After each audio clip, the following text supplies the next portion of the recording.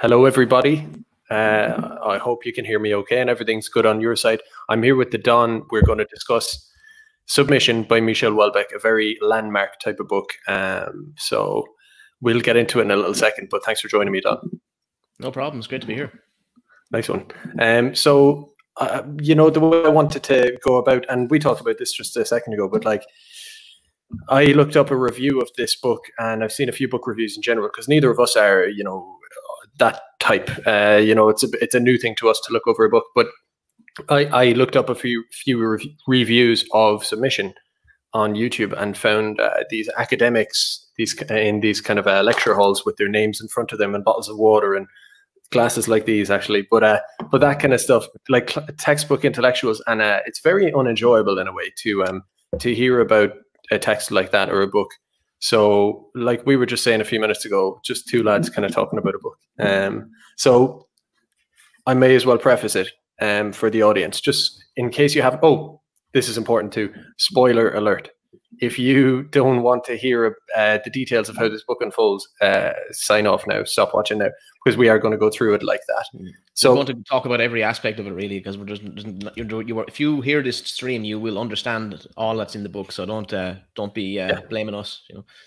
Exactly. Um, so I'm going to read off the the blurb at the back of the book as a way to show you how the book purports itself, or at least how the publishers purport the book um, as opposed to my own version of it, just so you know how it's presented. So, as the 2022 French pres- presidential election looms, two candidates emerge as favorites Marine Le Pen of the Front National and the charismatic Mohamed Ben Abbes. Abbes? Abe? Done? I'm going to say Ben Abe. Ben Abe, okay. Of the growing uh, Muslim fraternity, so a Muslim party, forming a controversial alliance with the political political left to block the Front National's alarming ascendancy, Ben Abe sweeps to power, and overnight the country is transformed. This proves to be the death knell of French secularism as Islamic law comes into force. Women are veiled, polygamy is encouraged, and for a narrator, uh, Francois, misanthropic, middle aged, and alienated, life is set on a new course. So that is kind of that. Now, what do you make of that as a? Are you happy with that? Um, with that as a blurb or?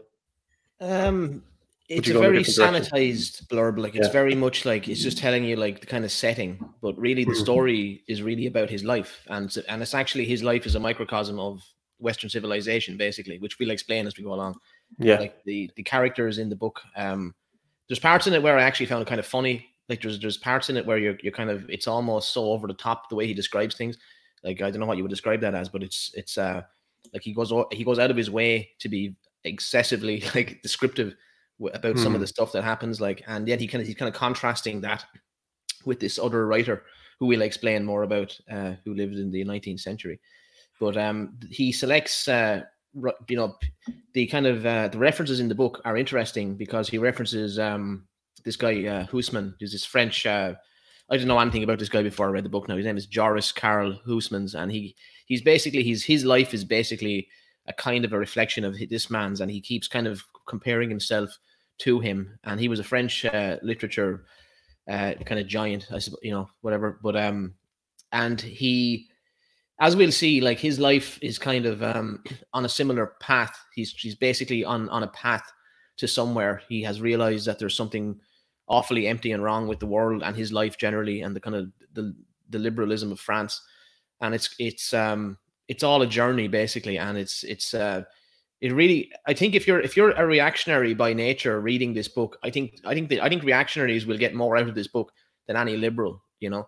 Like there's red pills in it like for liberals but will the liberals go there is what i would ask you know? I'm not sure they will. Like i, I think the i think the blurb on the back kind of says a lot because it's like they're afraid to kind of address some of the deeper themes in the book basically. Hmm. yeah and i think we'll be getting onto that more uh, as we go forward talking about this but the just to explain for those who don't know, um, and even for those who do, the guy's life. So he's basically a lecturer in Paris in the Sorbonne, and um, he effectively, to me, it's like um, I always say, you know, if you wanted to learn about the Russian aristocracy, what their life was like, uh, you might read Tolstoy and Dostoevsky and all this kind of stuff, or Tolstoy anyway, um, or Hemingway to learn about artists and like. Uh, I don't know, like 70 odd years ago in, in Paris or whatever. And this guy is to learn about the the nihilistic, misanthropic uh, lifestyle of a lot of people in the 21st century in 2000 whenever it was released 17 or oh actually that's worth mentioning. We i'll get onto that in a second. The release date is important. But um but it, it's a perfect kind of look at that. And it's all the little details everything from the way all of his food is kind of ordered as takeaway his um his relationships to women his relationships to his parents his work lifestyle he he notes that he's an academic and it's a kind of a a system that's perpetuated for its own sake in a way. Um, mm. And he's getting at all of these the pointlessness of living in Western society. Um, it's turned up, like you said, it's turned up to volume ten, and it's just in your face and intense. And did you notice like the way he describes the academic environment? Like he he really he has a kind of a contempt for them. Do you know what I mean? And it's mm. it's like he he describes like conversations that he has like with these with these these various lecturers or whatever. And he's you can see he's kind of like he's seeing through so much of it, like, and, and he just sees the rest of them as these kind of careerists. You know, they're not really looking at anything meaningful, and they're like, there's he describes one one situation where like there's one of them is like he's kind of a mediocrity, but he he has sex with this kind of with this lesbian. He thinks it's a lesbian lecturer or whatever to get a promotion, and like he's he's, he's kind of cynically talking about this in the book. Like you know, it's just very funny. I thought like the way hmm. he describes the people.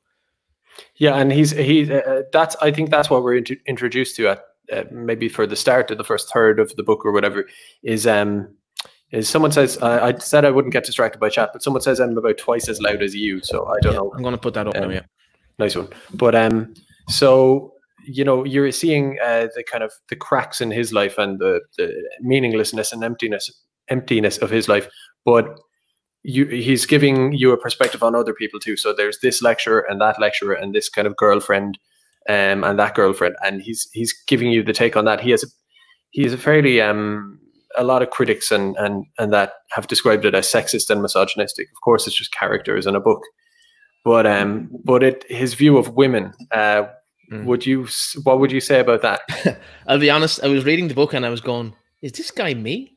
But like, I was just kind of like, I just found it like uh like very um like I, I understand like that that, that the, the leftist or whatever would find this mm. like incredibly but actually it's kind of the male mind it's it's kind of he's just cynical and it's mm. perfectly natural to be cynical about the others the opposite sex sometimes you know it's like we're not the same so mm. I, I, don't think I, I thought it was an honest kind of it was yeah it's a bit satirical it's a bit over the top like but it is i think it's honest at the same time you know yeah and uh, but he's it's not even just women in general like the perennial woman but it's um hmm. women specifically now in the west he's talking about um, hit, people hitting the wall and um, these kind of um, fickle relationships um, and how they damage people and all of that. So he's, I don't know, I wouldn't say a men's rights activist or any of that.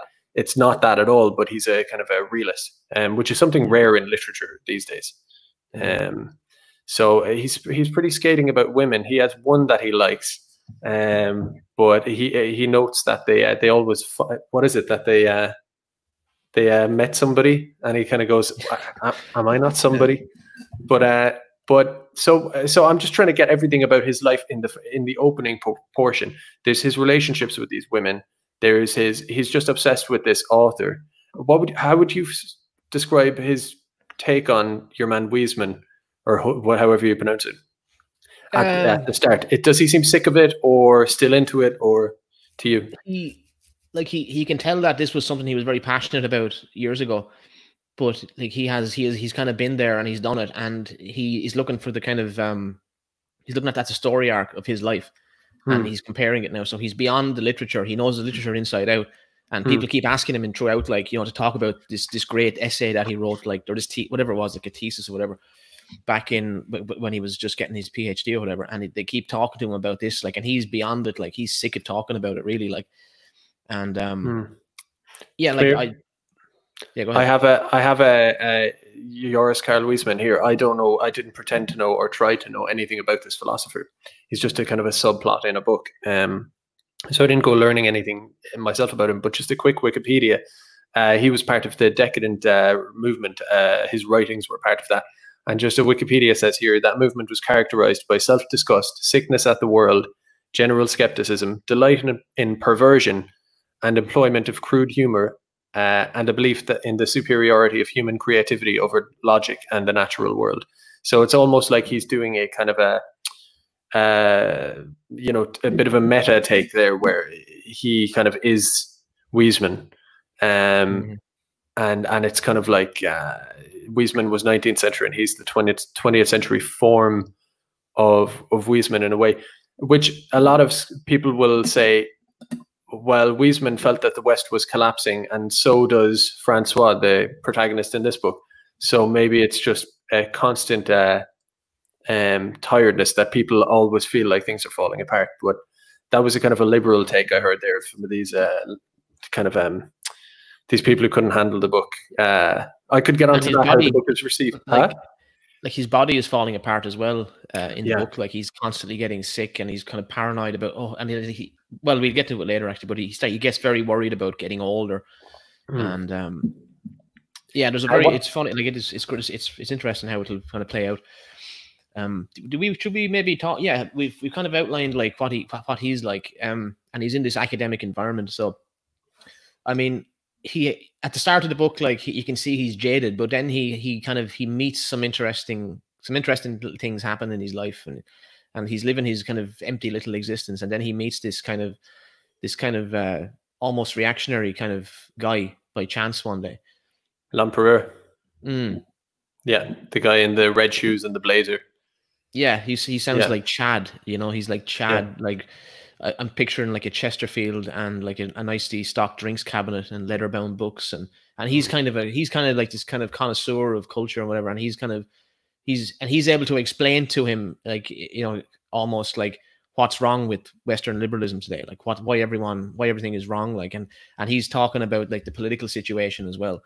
So I noticed. I noticed that uh, when he meets that guy, he's kind of having this spar with him, an intellectual spar, because the guy is a bit of a nationalist. Basically, turns out that guy is pretty much what like it's kind of inferred that maybe he's like a operative within the nationalist movement politically, and it's kind of hinted at. But he's having the spar with the guy because the guy is very intelligent, but he's also a nationalist, and he says, uh, the Francois, the protagonist, or the guy, the narrator, uh, says, um, how he was a little bit nervous because he was out of practice with intellectuals of the right, um, which I think is a nod to the fact that I mean the guy works in a university. He speak he does nothing but talk to intellectuals all day long or meet them. They're like the, some of the only people he ever meets. He hasn't got very many friends, and uh, you know he's out of practice with intellectuals of the right, which is just you know stating the obvious, I suppose, about um about uh, the academic environment these days. Um, and it, I don't know, it, it, it, it, oh, the other thing to point out as well is it does, just in general, the book uh, has a kind of scathing criticism, really, of intellectuals, journalists, and uh, uh, that kind of shattering class. You've something going on, yeah. Uh, you've something on the boil there. Yeah, and as like as he's um as this is all going on, like the situation is that France is becoming demographically Muslim, and he is kind of in the middle of this in the university and he describes like seeing like the the salafists like walk the women to the to the lecture hall and stand outside of it before he comes in just because that you know that's kind of the the real kind of uh, extreme kind of militant islam. And he's kind of uh he even describes like the like you can see he he kind of part of him is see he wants to see short skirts like and he's he's describing seeing these women in burqas the whole time. And you can see he's kind of it, it's, it's it doesn't sit right with him you know, and he, and he there's a part in the book where he even describes like the like a short skirt and whatever, you know, what what that's like, like to a woman's body or whatever. And um, he's yeah, he's a bit he's a bit. Some people would say he's a bit of a creep. Uh, it depends mm. what way you want to look at it, or maybe he's just being yeah. realistic, you know. Um, yeah, and he's he's at home on on like Pornhub or whatever. Do you know what I mean? At nighttime, yeah, with, with his little takeaway dinners. You know, it's it's all yeah. very seedy. You know. Um, he's also losing his uh, virility. I think that's a big thing as well. You know, obviously he's hitting his um forties and uh, he's not very healthy and he's he's losing his virility, which is like the only thing he kind of ever cares about. Um, I think that's a big part of it. So with this guy Lempereur, or however you pronounce it, the right wing intellectual kind of guy, he meets the nationalist.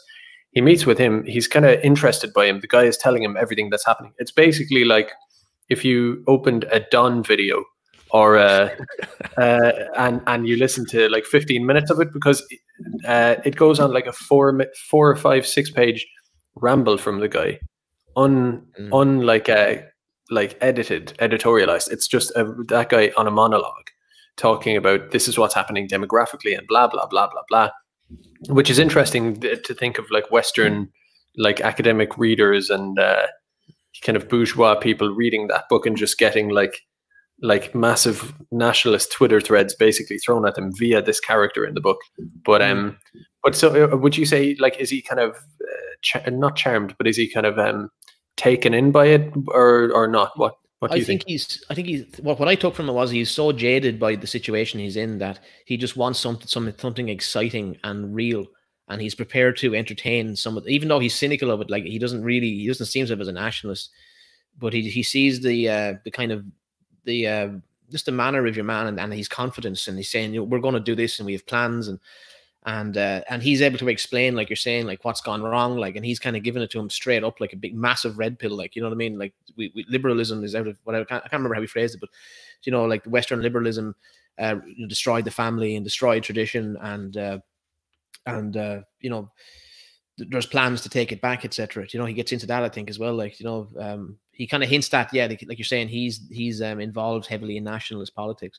And you know he's he's taken in by this as like a god it's something interesting someone interesting to talk to at least you know rather than these kind of windbags he's talking to every day. But what's what's kind of interesting is that um or to me is that and i'm sure the author meant this or whatever it doesn't matter what the author meant but what i took from it anyway is um is a feeling of intense dislike towards the protagonist for mm. various reasons but one of the big ones is his a what's the word depoliticization or something. You know not everybody needs to be political but he knows a lot. He suffers a lot and he can see all this stuff happening around him. You know he makes those observations and yet he's always just kind of like well i'm an intellectual. Politics i don't care about politics you mm. know? So long as it keeps the kind of the his like college student uh girlfriends his like little like two month f buddies coming and his takeaways coming and his uh, easy kind of lifestyle coming, then he doesn't really care about politics. And it's only when he starts to see it encroach on him a little bit that he gets interested and he is kind of open to listening to this guy, Lempereur, the nationalist intellectual. He becomes open to it. But there's so many times like he's having a conversation with one of the girlfriends and he says, um, he, the conversation about whether women should have gotten the vote comes up and he's kind of being playful with her to be like, you know, radical to say, well, I don't know if it was a good idea she was like, You believe in a return of the patriarchy? And he says, Well, I don't believe anything, or I'm not for anything. It's that kind of um, blase attitude towards everything. Um, very much, and, and, and it comes up a few times in the book as well. Like French intellectuals don't have to be responsible, which is, it could be any Irish intellectuals as well. We don't really need to be responsible for what happens because whatever happens, you know, uh, we're shielded from it. The taxi driver might lose his job because, let's say, immigration or whatever. Mm. But I'm a lecturer. I'll be the last to go. And the thing that happens is he starts to recognize that maybe he he isn't quite as as um, shielded from all of this, and that's when he actually starts to care, which is very contemptible. Uh, also, when when he's speaking to this uh, guy, um, there are bombs going off in the background. Him, Lempereur, and a mutual friend are having drinks and bombs start to go off in the backward, very uh, or in the background, very uh, symbolic. Um, so that's kind of that's the start of the that's kind of like the first act in a way, isn't yeah. it? And, the, and, there's a few things like that come up as well, like like the like this is in the build up to an election, and like you say, there's this Ben Abe guy is is is doing well, and and he's describing like what you know the reactions of various people as well. He describes the the left like is uh was was kind of happy enough like to, to work with them or whatever and the nationalists are always divided you know and that's the fun it's the funny it was kind of true I suppose but like he um uh this, he said the socialists and the Muslims basically work together uh you know on a lot of these things and that they're actually not that not that different you know in some respects which which is actually kind of true like and it is he's describing the kind of real relationship which is there between the institutional left and Islam you know and and it's uh like there's a lot in this book that we'll get into it later. He makes a few interesting references as well later on. But, politically um, and then yeah, like the the thing about um this every basically everybody seems to be ganging up to side like side up against the National Front. So mm. you have the Muslims and the socialists, even though the Muslims want to like uh, theologize the education system and uh, and um, ed- mandatory ed- education at the age 12 for girls or something like that all of these kind of what you would call very basically kind of far right or trad or nationalist almost kind of style policies, like very traditional and uh, I don't know patriarchal, all of that. The socialists go along with it. They're kind of um, uh, yeah, the contradictions don't seem to bother them.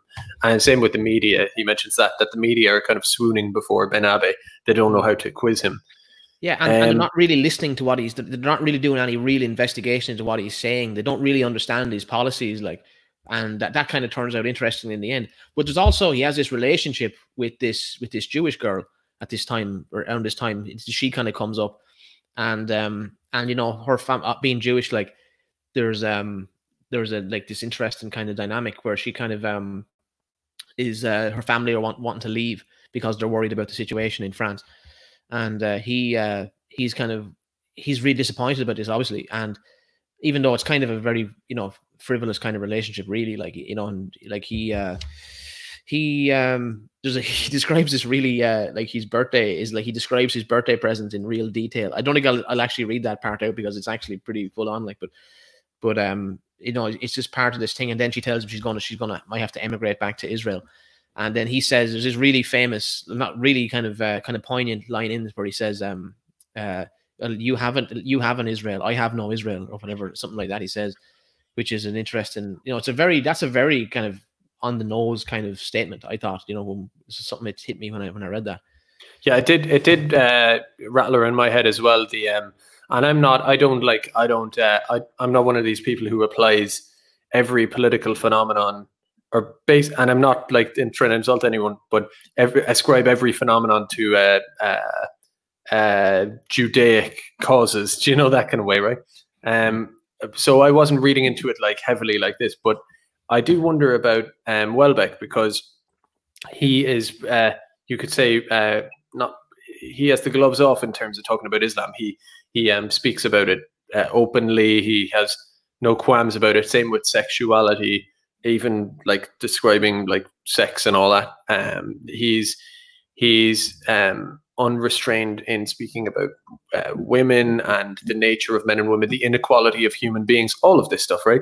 The whole uh, thing. But uh, I'm looking at it then going, okay, this is a guy who likes to be controversial. And um, he's obviously heard all of the different um, he's the the philo-Semitic theories about Zionism and how Islam is a threat to the West and the Judeo-Christian values. He's heard that. He's surely heard all of the uh, quote unquote anti-Semitic theories as well. He's a guy who clearly knows. So I'm reading it, going, well, in the in the context of this book, what's his take? What's he trying to say? And on one hand, he's being like his his characters keep saying, well, every time Muslims come to power, it's bad for the Jews like his girlfriend says that to him, Miriam. So you think, oh, he, is he kind of is he kind of uh, what's the word channeling Zionist kind of talking points in here? But then he says, "There's no Israel for me." He points that out, um, and he also, I think, there's a little subtle nod there when he says, when she's kind of sad that she has to leave because her parents are going, and she says, "Oh, you know, I miss, I'll miss France. I love." Um, there's a few dot dot dots, and she's like, "I love the cheese."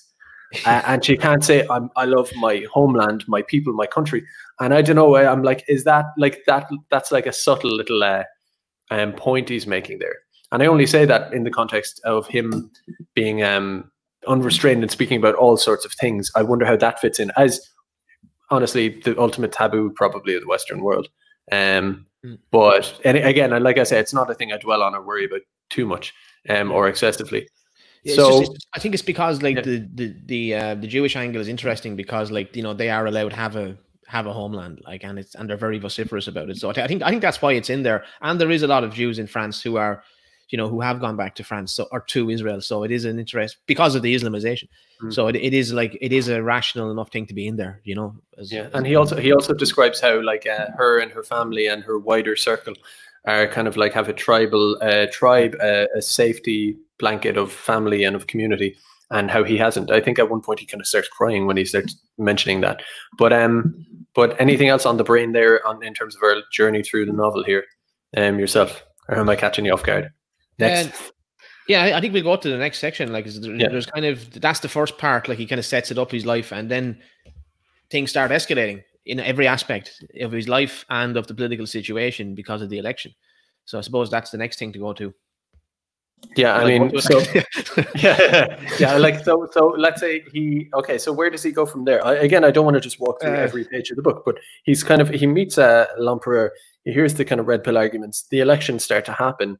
Um, there's a little bit of kind of uh, what would you call it? Um, intermittent kind of violence, like bits of terrorism kicking off in here. It, it feels like there's a bomb going off down the street, kind of like frequently enough. It, you kind of get that mood of increasing temperature as as the elections approach. And I suppose, correct me if I'm wrong, but he decides he's going to get in his car and fuck off uh, out of Paris and Yeah, drive to the countryside. there was one point, for example, just leading up to this, which kind of sets up for him to leave, like where he's um I think he was uh he's describing the Chinese neighborhood in like Paris. I can't remember which arrondissement it was, but whatever it is, wherever that is, like I'm sure it's accurate geographically, like but um he describes like the Chinese, like he's saying, you know, he he- he's got this kind of inner like uh kind of little bit of racism in him, like you know, even though he's like this nihilism kind of you know, you know whatever uh at heart he's actually a kind of a reactionary and he's just kind of saying like god you know thankfully the chinese keep all the the arabs and everything at bay like so there's no violence in their areas you know because they're looking after things you know? Whereas like you know the violence is kind of envisaged on the kind of native population and in the in the migrant ghettos you know? It's just interesting. And then he goes off on the yeah he, he gets he decides he, because things are kicking off so much he decides he has to get out of paris. And uh, he heads off to uh, he just he just, he just starts driving basically. And um he gets a hotel in Martel, which is obviously the town named after Charles Martel. And uh, if anyone doesn't know, I'm sure you, you know anyway. But Charles Martel was um, this famous like uh, you know hero in in France who drove back the uh, the Muslims basically and defeated them in the Battle of Tours. I think it was called, wasn't it? Yeah, that's it. So uh, yeah, he goes. He he just keeps driving, and he, he just there's a really funny part where he describes like going into a petrol station and like there's someone has someone has been killed in the petrol station, and he just walks over the body and gets a tuna sandwich. and he just gets off and get leaves, and he heads off on his way. And uh, it's just yeah, like Paris is or France is in is in kind of uproar or whatever, and he just has to leave. Um, what does he do? He goes to. I uh, noticed, I, you know, when he's on the road, when he's on the road, um, yeah, he's driving for like hundred kilometers and he doesn't see a car, Mm. and it just that feeling of something. I think that whole uh, scene, you could say, is like a feeling of something coming to an end and something else beginning, and a kind of transition period. Um, which strangely enough kind of felt a little bit like now, to be honest. And let's not get into talking about that. But there was a, a little bit of a. I felt like you know everything is changing. Nothing will ever be the same from here on in, and you can feel it happening when he's on his drive. Uh, also, as he's driving, he's switching through the radio stations, and he um, none of them are working. And when he gets to his destination, which we'll talk about, the Wi-Fi doesn't work for like a day or two, and then it kind of starts to come back a little bit. And I don't know, were are we meant to take that as some kind of like uh, seizing of power, like from one deep state to another kind of thing, where like Mm. it's like a kind of a regime change almost like you would expect in a classic regime change where like for example i've been waffling for the last week about um about um the yugoslavia thing and when nato bombed serbia one of the things they did was bomb the local television station to shut down communications. Because if you want to install a new regime and oust the old one you need to stop their propaganda and start your own. And there's a little bit of a tussle period there. So that's what i took from his journey. It, it's you're meant to like insert regime change there. Um, and it might not necessarily have been complete, uh, completely violent, like spilling a lot of blood. But in certain areas in the country, things changed. It was a little bit rough, and meanwhile, he's in his country retreat, basically. Yeah, and yeah, the uh, what does he do? He gets so he gets a hotel in this kind of uh, very just basically no one in the hotel basically other than him, and uh, he uh, he meets this other guy then, doesn't he? He meets this interesting kind of guy who's almost like some kind of uh, like intelligence operative or something like that, you know? Yeah, Tanner Um, or Tanner, Tanner, yeah, that's something the name. like that. just find the name. Yeah, he meets this guy Tanner, and um, and he kind of they get uh he gets embroiled in, in kind of telling them, kind of bringing them up to speed on what's going on because this guy has all these connections, and he's I I'm not sure how this happened. He met them in a restaurant or in I can't remember exactly, but they uh Oh, they just happen described- to be there, which is uh, yeah quite a plot device. But I'm no, I'm no critic. but like you know, um, big, it's big country. Yeah, but but yeah, he happens to bump into these guys. Yeah, yeah, and he describes like he, this is where he gets he uses this this character Tanner to describe and explain some of the kind of in, intricacies of like jihadism and Salafists and and you know and the, the, Muslim Brotherhood. And he's actually accurate. I have to give him the credit. Like, I mean, I'm, I, as I'm reading the book, I was I was wondering like, you know, how much inv- he obviously has done his research into Islam because uh, he keeps um he's he's on point. Like he says, the, uh, the Muslim Brotherhood, for example, you know, they're not the same as the Salafists, although on the face of it they look that way. But they're they actually have kind of a, a different kind of. They're all about political power, really. That's really what it comes down to. Like they're looking for power, and the Salafists have this very very religious zealotry. And uh, and this is the thing with Ben Abbes because Ben Abbes is Muslim Brotherhood, but like he actually turns out to be actually quite more honorable than you would assume. Like you, he he's not he's not a bloodthirsty um, lunatic, and this guy kind of fills in, you know, him on this like and explains to him like what uh, what a kind of leadership led by Ben Abbes would be like, you know. And this kind of, I suppose, this is kind of yeah, it's a, it's a plot device to to explain to people some of these things, but I suppose it's necessary. But like, and this kind of gets him thinking a little bit differently as well. And this is where you kind of see him he's his life is spiraling, you know, and um, he he he's talking about the like this the possibility of like a, a socialist center right coalition to beat the nationalists and all this like and uh, he's intrigued by this guy like and they talk into the night and whatever.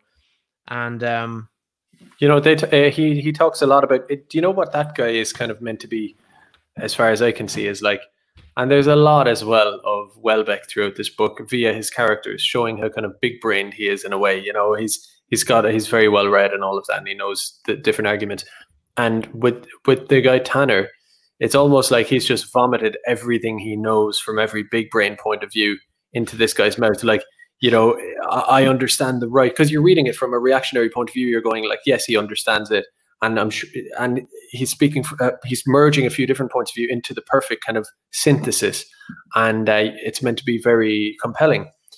But I don't know. Uh, I, I, you know, I, I was never swayed by anyone in this book to not be a, like a French nationalist uh, at heart, you know, and we'll get to that in the end. But um, but he kind of the Tanneur guy suggests that he he takes nationalism into account. He's like, yeah, yeah, he's not like saying, oh, they're all bad or whatever, but he's just saying nationalism is dead. Nationalism died in the trenches of Verdun and it's exhausted. And uh, so is Christianity. And it's not saying that that's bad. It's just saying that it's pointless. I it, it, he almost says like, and there are one, more than one characters. I've forgotten forgotten who in this book who kind of go, yeah, I went through a nativist phase. They call it, but um, I realized that it's just dead on the vine and I'm reading it kind of going, I can't help reading it being like, no, it isn't, you know, yeah. getting stubborn about it, to be honest. But um, yeah. how sincerely do you take it or how do you think they are just quitters? I know it sounds childish yeah. of me, but what's your take? I think, I think, we're looking at it, you see, as Irish people. And in Ireland, like this stuff is not as deeply ingrained like for as long. Like France is the birthplace of liberalism, isn't it? Like so, it's it's the, this is where it all started, the French Revolution. Like so, this force which kind of it has now kind of spun itself out into the situation and like they're demographically further along. So I suppose it's easier for us to kind of go, no, it's not. You know, like 20 years ago, the country was, you know, completely Irish or whatever. You know, so we, we don't see the, we, we know, I think it's uh, maybe if you're French, you probably have a different perspective on that because actually demographically France is in a very bad way. But he uses this character as well to talk about like, uh, like all this kind of political stuff um, about like he explains like de Gaulle uh, and hit with the way he viewed the European project, like which was kind of like the British. Um, obviously, the the the colonial powers like were kind of trying to maintain their own kind of spheres of influence while going into the European thing. Like so, De Gaulle, like with France, they have these these these North African colonies or whatever. So although he eventually, of course, gave them up, but like you know, he was trying to maintain that influence. Like and so, like the Arabization of France, like is kind of has been kind of set in stone for like about 70 years really because if you're going to have that massive like african colony or whatever um you know you're, you're going to have demographic displacement like so and he describes like this this Bat Ye'or woman who wrote this book called i actually have it it's called eurabia is like that book there hmm. like and like she's been she outlines all the like uh the agreements which were made between the EU and the Arab countries going back to the oil crisis in the 70s. And he has all this in here. So I just found that I just couldn't believe it. I was reading that. You know, he's really pushing it like, you know, like he's there's so many red pills there for people if they actually wanted to look them up. Like, did you see any inter- any reviewer talk about any of that stuff? Like, I didn't see anyone bring that up, like about like the kind of geopolitics that's in here, like because it's actually pretty on the nose, like you know. Yeah, uh, I kind of, I kind of want, I want to, I want to get to that towards the end, but but just a note on it they uh, it's very funny the attitude these critics these kind of people who are dyed in the wool liberal progressives or whatever trying to deal with this and trying not to throw throw their toys out of the pram because that would make them too obvious. Like they would become the characters in the book then like so they're trying not to be they're kind of forced into a strange position by this book because they've to be like yes yes yes but you know this is all an illusion or whatever. But it's like well that's what like that's what uh, Houellebecq said. The lecturers in the book also said, like you're just being the characters in the book now, which is funny. So they're trying not to, uh, and it's very strange, but yet they can't just accept it all hook, line, and sinker and be like, yes, it's very interesting. Um, and that is the thing that up until all of this begins to happen, um, most of his lecturer buddies and stuff dismiss all of this talk, this nativist talk, as you know, uh, it's crazy talk or whatever. But crazy xenophobic, like, whatever, blah blah. You know, speak. yeah. And as soon as it kind of basically comes to pass, I mean, we'll get onto that in a second. But it's the transition is very quick. There's no like actually. Yeah, that's, we that's what's wrong. hilarious about it. Actually, yeah, is that yeah. it just it, like they just kind of go, oh well, that's it, you know, and they just live yeah, their life like, and, and, and, yeah, we'll, we'll talk about later. They don't, they don't insert I well, I was wrong there anyway. Um, so no, there's no like mea culpa at all. But so he's in this. Um, he's in this. Um, we are kind of just going through the book, but it's fine. It's a good way to do it. Um, he's in this. Um, this place. I think he uh, he starts kind of visiting churches at this point, doesn't he? He starts to mm. do his um kind of quest for meaning or whatever. Um, but yeah. I mean, there's not. Is there anything more in his trip, or are we yeah, back to his return? Just compares the Renaissance to the versus the Gothic kind of era of Catholicism, hmm. and um, you know, in, in, the architecture and everything, but also the kind of the uh the oh, he, he has a line here. I can't think what it is. but I can't find it now anyway. But but like he's talking mm. about the individual judgment. Um, you know, wasn't kind of as uh wasn't as apparent early on, like in, in Catholicism and all this. Like, but you know, I don't know. I, I haven't got the line to now, but but yeah, he's just yeah. he's because he's trying. He's on a spiritual journey and he just can't relate. He can't relate to it really in his heart. He just can't. He's looking for like because that's what the submission is about, really. He's trying to submit to God, like, and he just can't bring himself to do it, basically.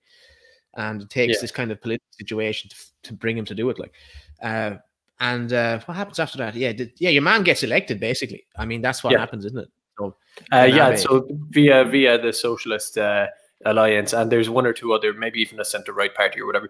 But classic, like post World War II European democracy, is set up to keep nationalists out of power. I, I, that's the way I view it anyway, because anytime yeah. you have an election, like after the migrant crisis, um, whether it, various different European countries, Austria, Denmark, whatever, they ca- like they would have this sizable nationalist uh, uh, political uh, wing or going for election, and uh, they would. It's like, isn't that funny that democracy like coalesces against one specific group always? Mm-hmm as if it is this satanic thing, you know.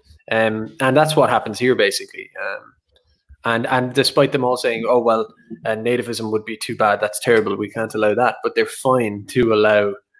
Uh, well, we'll get onto it. um, so I, I, mean, he basically comes home at that point. He returns. Yeah, and like the funny thing is, he comes home like, and he's describing like the bureaucracy that he has to deal with just for having left his fucking flat in Paris mm. for a few days. Like he just has all these letters and and he's like you know it's just this bureaucratic state kind of you know you know this is this is all like these are the institutions which have survived you know instead of the kind of the religious institutions you now have this bureaucratic state with its thumb on you like demanding to know where you were if you left your house for a while or whatever and, and yeah um, it is it is it's pretty horrific like uh, that that feeling of there being a pile of letters and and he's like sitting there in the corner kind of looking like afraid at the pile of letters. It's a horrible feeling, and like it would be nice if we didn't have so much of that. Um, but but what else? What what anything else occur with this bunch of letters yeah. or? Well, like the first kind of big tragedy, like like there's been a few upsets in his life, but now he he finds a, a, a the his mother dies basically, and uh, this is like the catalyst for him. Although he doesn't seem that worried about it. He almost writes about it in a way which is like kind of flippant. You know, he's uh like because he doesn't have much of a relationship with his parents. This is where you learn about his parents. And like, you know, his parents are living like different lives now. They're broke up and she has like a dog and his father has uh has like a, a, a younger wife or whatever, you know. So he ends up uh like uh explaining some of this, like and um you know, you can kind of see then this is oh, this is how he ended up the way he was, like because he, he doesn't come from a from a kind of a you know, a kind of a traditional home upbringing or whatever, and he does he's kind of alienated from his family, so he he, he doesn't have any network at all.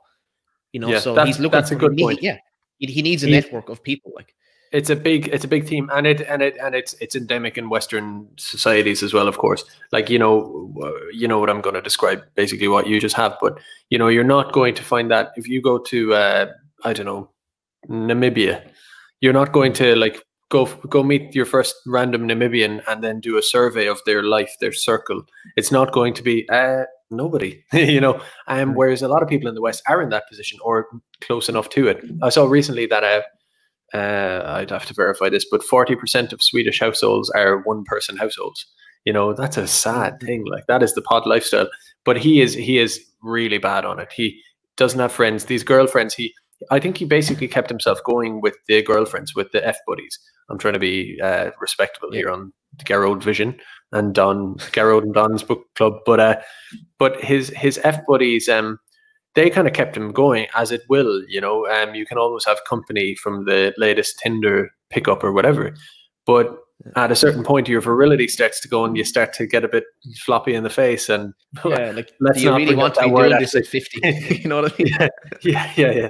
But uh, unfortunate choice of words there on my behalf a little bit. But uh, but but yeah, so that starts to fade away a little bit, and you are left with nothing. No kids, no no mum, no dad. His mum uh, lived out her years uh, depressed, alone at home, basically. And his dad, uh, well, let's get to his dad because it's a very interesting little bit because he realizes his dad had, uh, for the last, his dad dies too. For the last Mm. five years of his life, his dad had actually found, actualized himself a little bit. He had started hunting. He'd met a, a kind of slightly younger woman or just a woman he liked. And uh, they- they drove around in a Mitsubishi Pajero and had the crack. And, you know, and he's like, what? I never knew my dad at all, really. You know, um, he only ever knew him as a kind of a suit, um, a kind of a corporate company man, um, and all obviously was alienated from his father. You know, never connected Mm. to him, um, which is uh, obviously a big problem of his, I would say. And a lot of people, of course, don't even have a father to begin with.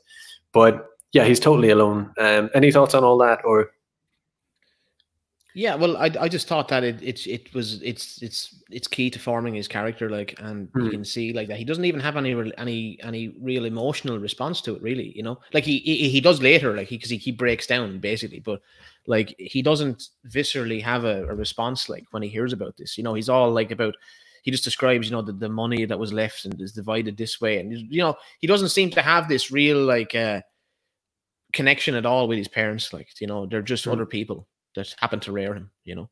Hmm. Um, and it, it also like when the um, like, this is going on. Also, like he, uh, the university is being taken over by uh by Qataris or something, and this is where it gets kind of funny because like this uh like this mediocre like lecturer uh, that he was he, he met met before like you know kind of comes in like and he says as I expected he had accepted a position at the new university. He was teaching a course on Rimbaud. He clearly found the situation embarrassing, and he added unprompted that the new administration hadn't interfered at all with the content of his course. That is to say, Rimbaud's conversion to Islam was presented as a matter of historical fact, though this was controversial to say the least. But when you when it came to analyzing the poems, he really had been left alone, and that's what counted. The longer I listened without any sign of indignation, the more he relaxed, and in the end he invited me for coffee.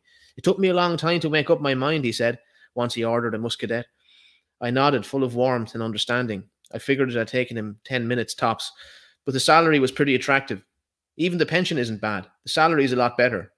How much better? Three times more. So basically, he's just describing how like all these academics really give a shit about like was the money like, and they were happy to pretend that Rimbaud was converted to Islam and do what you know, just, just these really ahistorical things like because you know I for one welcome our new Muslim overlords. That kind of attitude, you know. And does he is uh, does he uh, does he engage in uh, his wife uh, uh, brides? Are we there yet? Am I spill the beans? But like he does start Oh yeah, so Yeah, I he mean, the, the polygamy thing comes in pretty soon uh, along here, um, and that is a big thing. I don't know. There are parts of it to me as well, by the way, that just seem a bit. There's something a bit surreal and unrealistic about some of it. You know, where like I'm the first. I'm not gonna like the whole counter jihad thing. The the worst case scenarios about Islam and all of that. Some of them uh, they have a point, but you know there is something slightly cartoonish about. He comes back and all of his timid lecturers are now walking around with sick brides. you know, it's like uh, okay, maybe like a little bit, but I don't know. It's all a bit quick. It's all a bit cartoonish, a little bit like you know. But um, but it's a it's a fair point as well. But um, I don't know. Little there are surreal moments, and maybe it's just to make a point from Houellebecq. But he like his mother dies and he doesn't care. I suppose Houellebecq is just trying to make a point, but it almost seems unreal.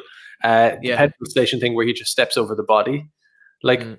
Wouldn't you try to call the police? I'm getting a bit down. you know, yeah. uh, maybe I'm taking it all too seriously, but you know, there are bits like that. Like he comes back and it's like, "Welcome back to Paris. We all now have 13 year old brides." Uh, Exactly.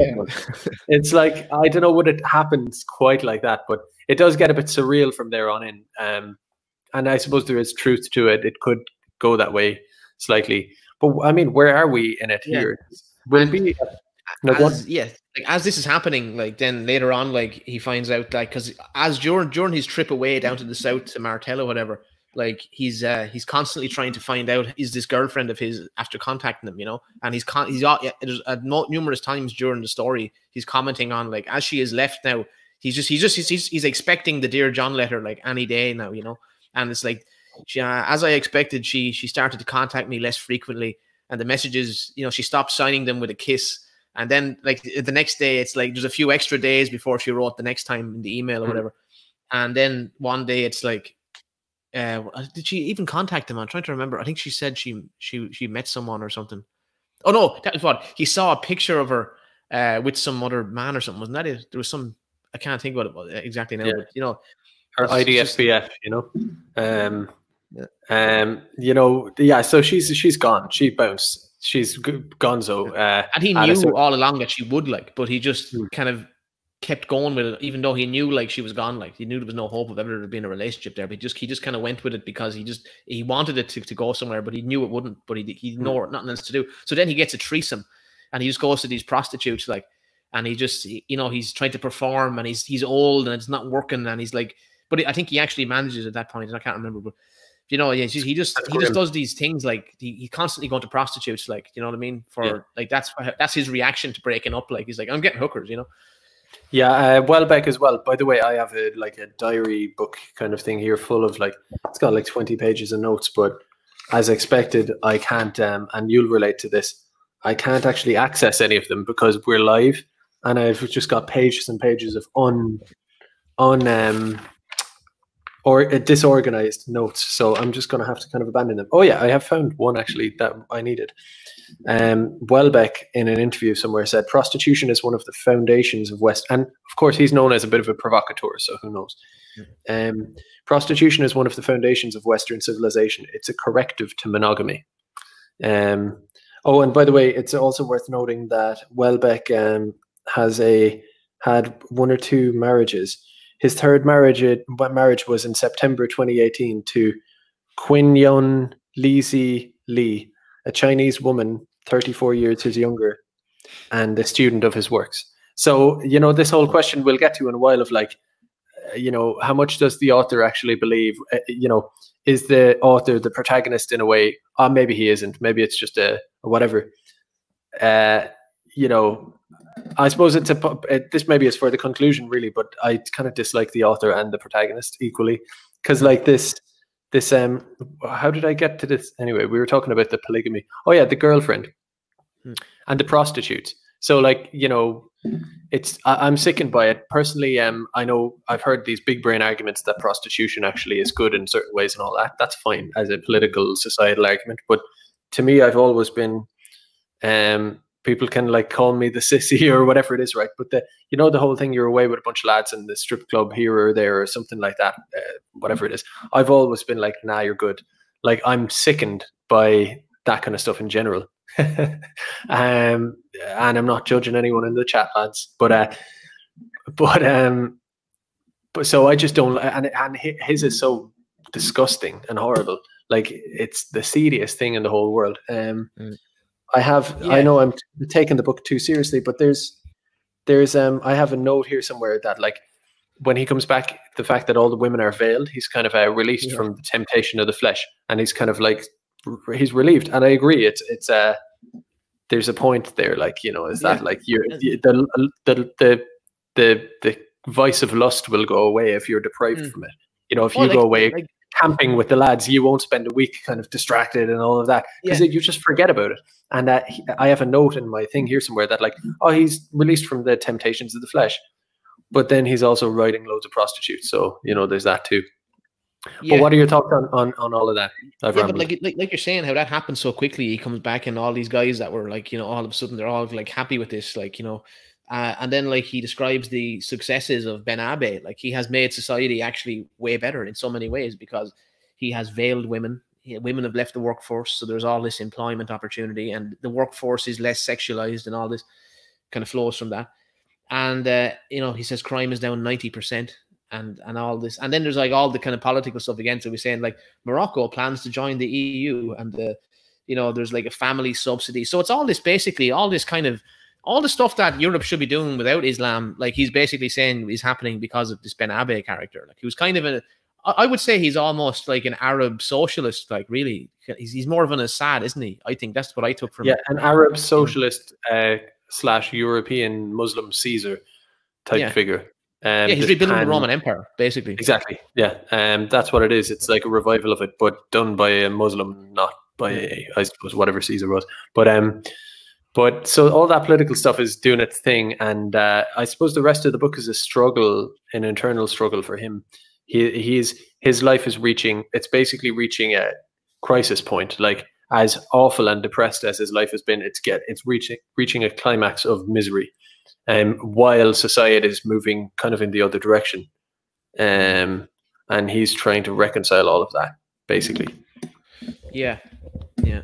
Um, and actually, I, think it was distributism he was talking about more than anything. That, that, that was because you Ben, yeah. you ban Ben Abbes. That's what I meant. I should have said. I should have said that he's not in salt. He's he's a distributist.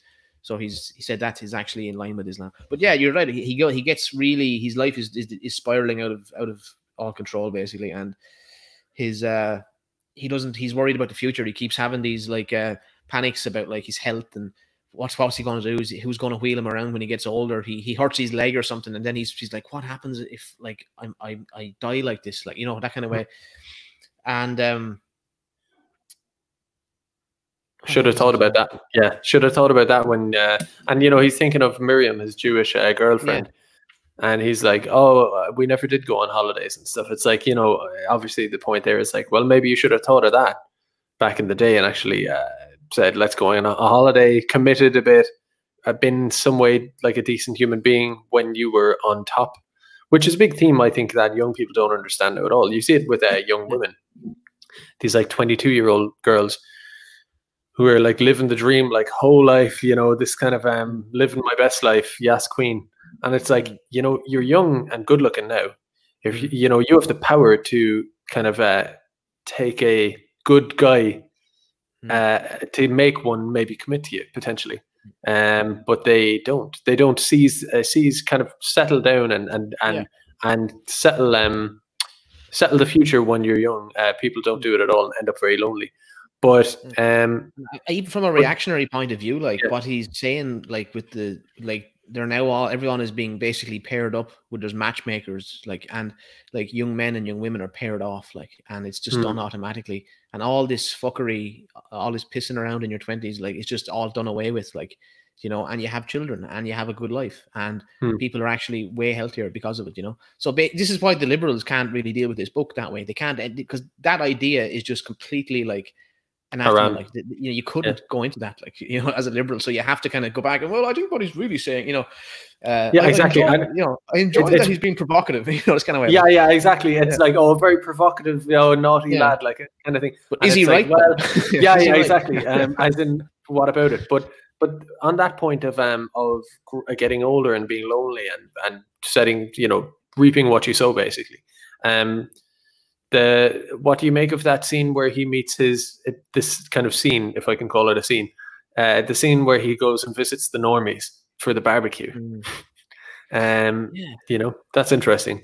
He he visits. So for those who don't know, um, or who haven't read it, um, he um he has this old buddy who used to be a lecturer, uh, or or did a doctoral, uh, like a PhD with him, but then went off and kind of uh, committed to the normie life. He got a job in the civil service, and he meets this woman who works in a marketing agency, and they have a house and a couple of kids and a dog or whatever. And uh, it's funny where the guy says, uh, the guy invites him to the barbecue, and he's like, it'll just, he basically is like, it's just going to be normal people, by the way, just so you know. Because like the lecturer, you can imagine this lecturer, depressed kind of guy with all these normal people, like an alien, you know but but he gets there and uh, and basically the the idea is that this normie couple and family are are miserable um, and I think he ascribes that misery to uh, women in the workplace to be honest uh, like uh, the fact that uh, like he doesn't have a good little cook as he, the term he uses in the book he doesn't have a uh, a nice wife to prepare meals a homemaker uh, all of that kind of stuff which kind of obviously would balance out the family and blah blah blah blah blah I think most people know all of this. I don't want to rehash the arguments, but but they're mis- that's how he paints it.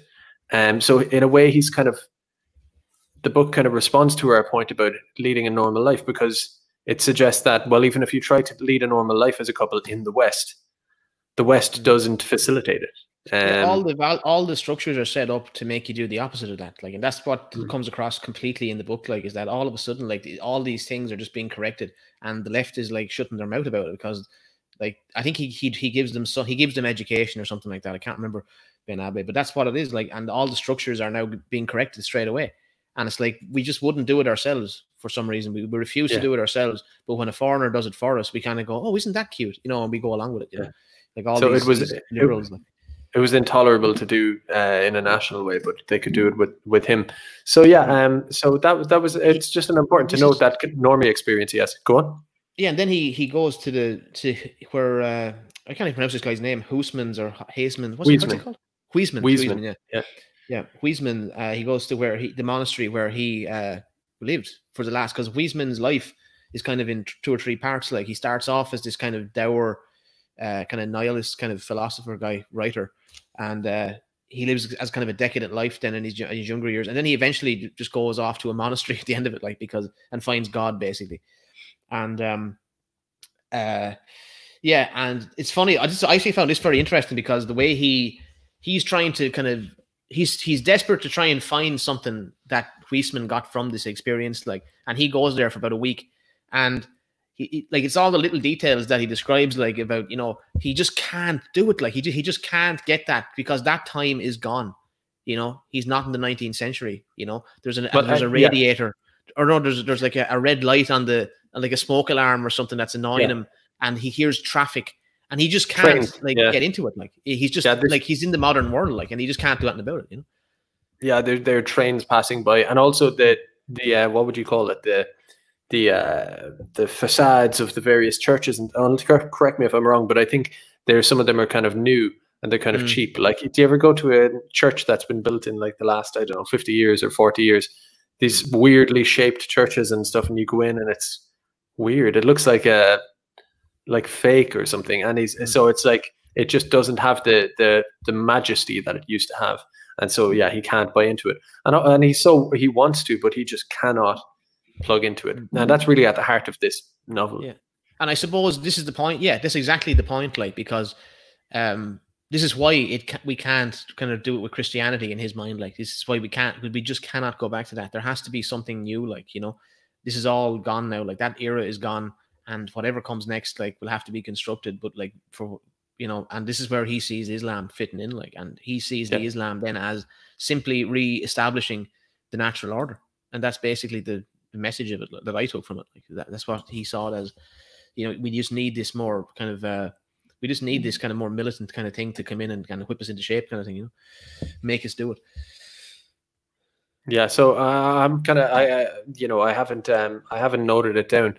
It kind of goes from there to the next thing I can re- remember. There is he, he okay, so he fucks off to the monastery and fails, um, and comes home again, and that's when his his eyes open up to Islam slightly, and it happens gradually. But he's kind of um he was originally sacked from his job, uh, kind of let go in the new Islamic university Yeah. that's taken over by Qataris or whatever.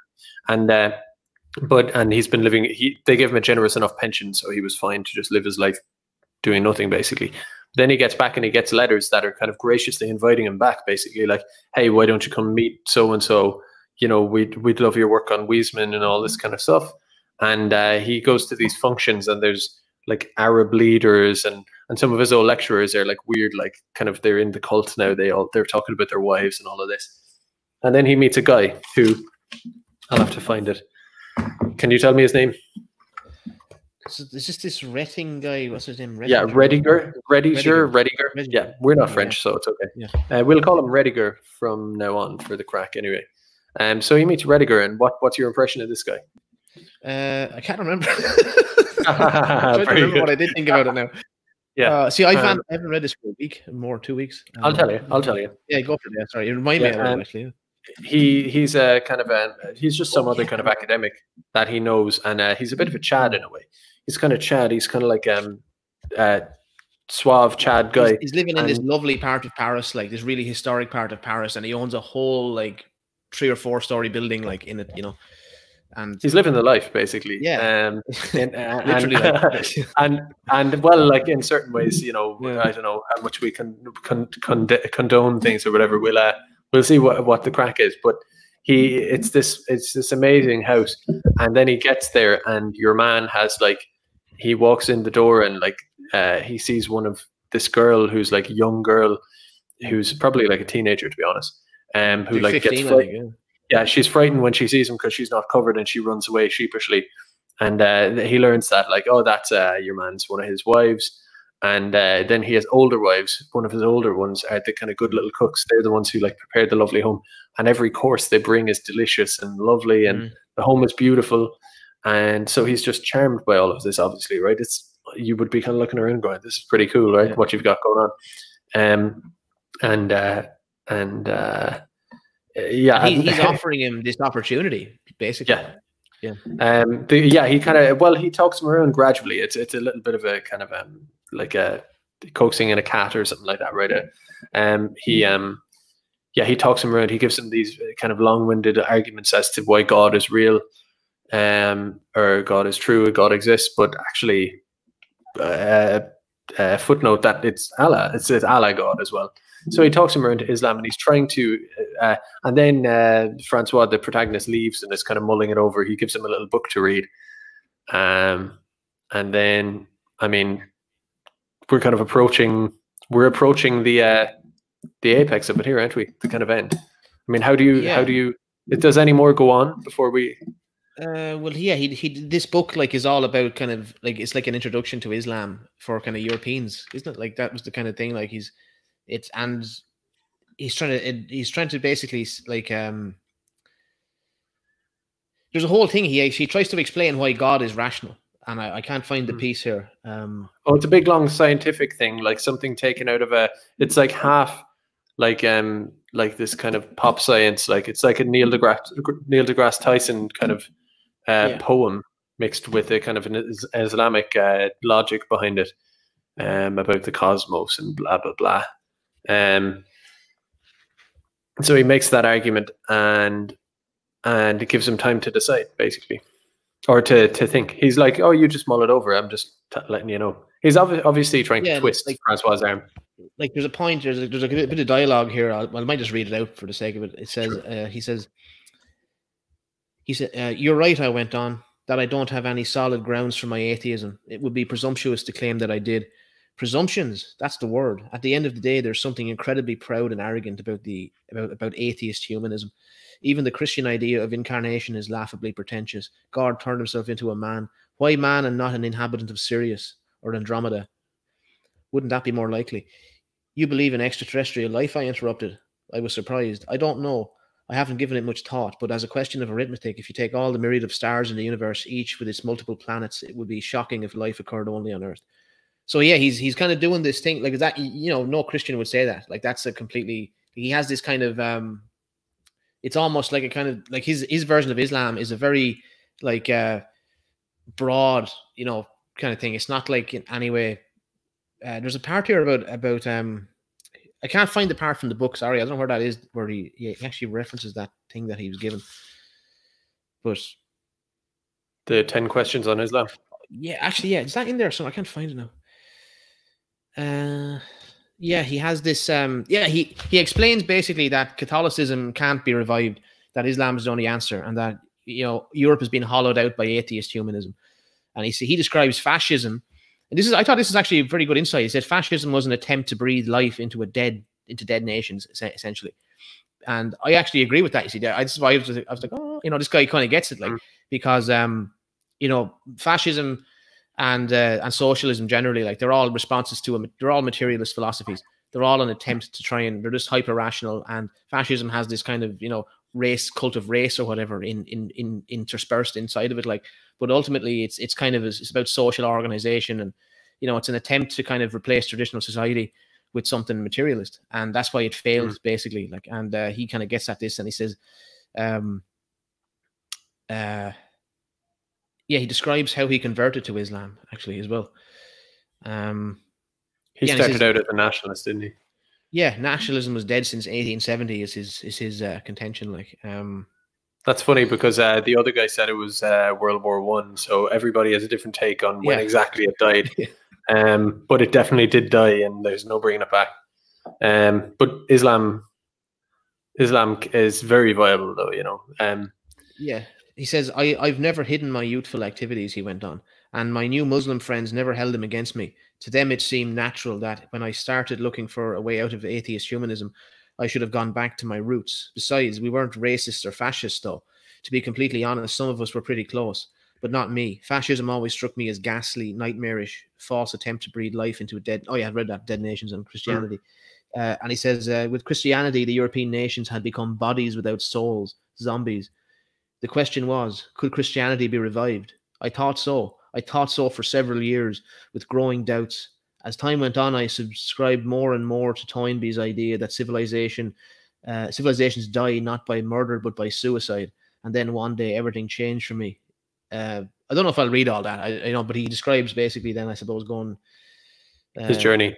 Yeah, like I don't know. It's it's um it's um that that that point about fascism and and Christianity. Um, it is very interesting, and it's funny because I do I do wonder, like you know, the average uh, blind boy or Una Mullally or whoever, right? And I don't want to bring them up too much, but you know, they, you know, like they would talk about all of this. Like I wonder what all of this seems like to people like that. You know, know. um, like we're debating like uh, Christianity, like fascism, like versus maybe that was a bit of a false start, uh, um, and and it's it's Christianity. Like I had a, a, not a debate, a discussion with someone last night about this, who was advocating for why um, nationalism is pointless without reviving a religious instinct or a, or a Christ- and via Christianity. And I was like, kind of saying, well, Christianity is so third worldized and uh, all of that. Now it's difficult, and we were back and forth on it, and you know, ne- neither of us too committed to a position. Um, but to uh, to Una Mullally or whatever, this is all just this is all just racism. it's plain and simple. It's all just like that. That's just racism. It's like, what is there left to think about? Yeah. After well, see, in, in, to them, there isn't anything to think about. Like you know, it's like mad. they don't actually because if you're not, if you're like they they all go on, but like we're challenging these things. We're challenging you know the patriarchy or whatever. Like, and it's like the patriarchy's gone 50, 100 years. Like, I mean, what are you talking about? Like, yeah, yeah, yeah. Like they, they, they, go on like they're living in in the nineteen forties. Like you know, and they're hmm. really not. Like you know. Um, or you know, it would be if they were discussing the patriarchy, so to speak, quote unquote. If if you were to challenge them to say, um, as a person who's claims to be pretty intelligent, give me you've given me a list of the bad things about patriarchy. Now give me a list of the benefits of patriarchy. So the bad things it, about it and the good things about it, the benefits it offers and the the the downsides of it. They would be like they wouldn't have anything. You know, they couldn't talk about that to you or speak to you about it at all. There is no uh, there's nothing there. So it it is interesting how these um how these um you know, nationalists can be basic. We can be basic in our own way, but like these guys reading this book would have be reading all of this like it's like it's um Chinese yeah, like or something. You know, like, like check this quote out here. Like he says, like, I, I, and as I'm reading this, like, ask yourselves, like, what would Una Mullally think about this? That Europe which was the summit of human civilization, committed suicide in a matter of decades. Rediger's voice was sad. He'd left all the overhead lights off. The only illumination came from the lamp on his desk. Throughout Europe, there were anarchist and nihilist movements, calls for violence, the, the denial of moral law. And then a few years later, it all came to an end with the unjustifiable madness of the First World War. Freud was not wrong, and neither was Thomas Mann. If France and Germany, the two most advanced civilizations in the world, could unleash the senseless slaughter the senseless slaughter, then Europe was dead. I spent the last night at the Metropole until it closed. He's basically that's that's a brothel, by the way. It's like his fancy French brothel. I walked all the way home, halfway across the city, past the EU compound, that gloomy fortress in the slums. The next day, I, I went to see an imam in uh, Zaventem, Zaventem, and the day after that, Easter Monday, in front of a handful of witnesses, I spoke the ritual words and converted to Islam.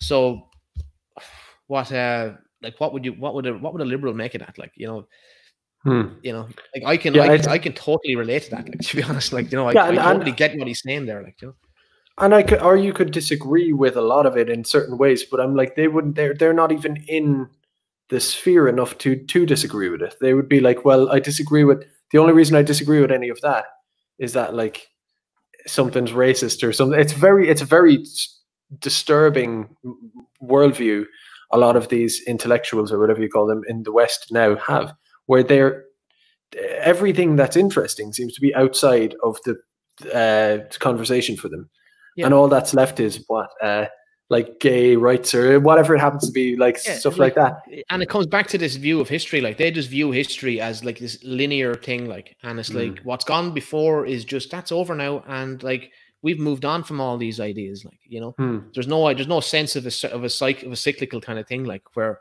you know, well actually, you know, nationalism has been reborn in, in various ways constantly, you know, and and like Poland was extinguished, but it came back, you know.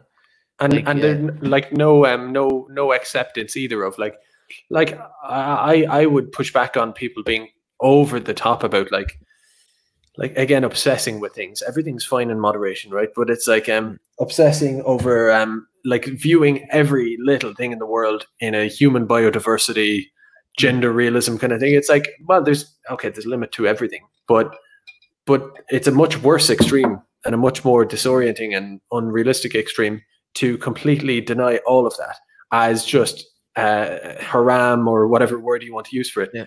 Uh, uh, that's just all wrongness. That's all. Whatever. It's like I come back to my point of like, I mean, what is there even to even think about besides the essentials of human life? Basically, like it's it's very strange, and yet back to the, I mean, back to the back to the text, back to the story. He has this experience with this guy. The guy is basically twisting his arm as a matter mm. of business, effectively.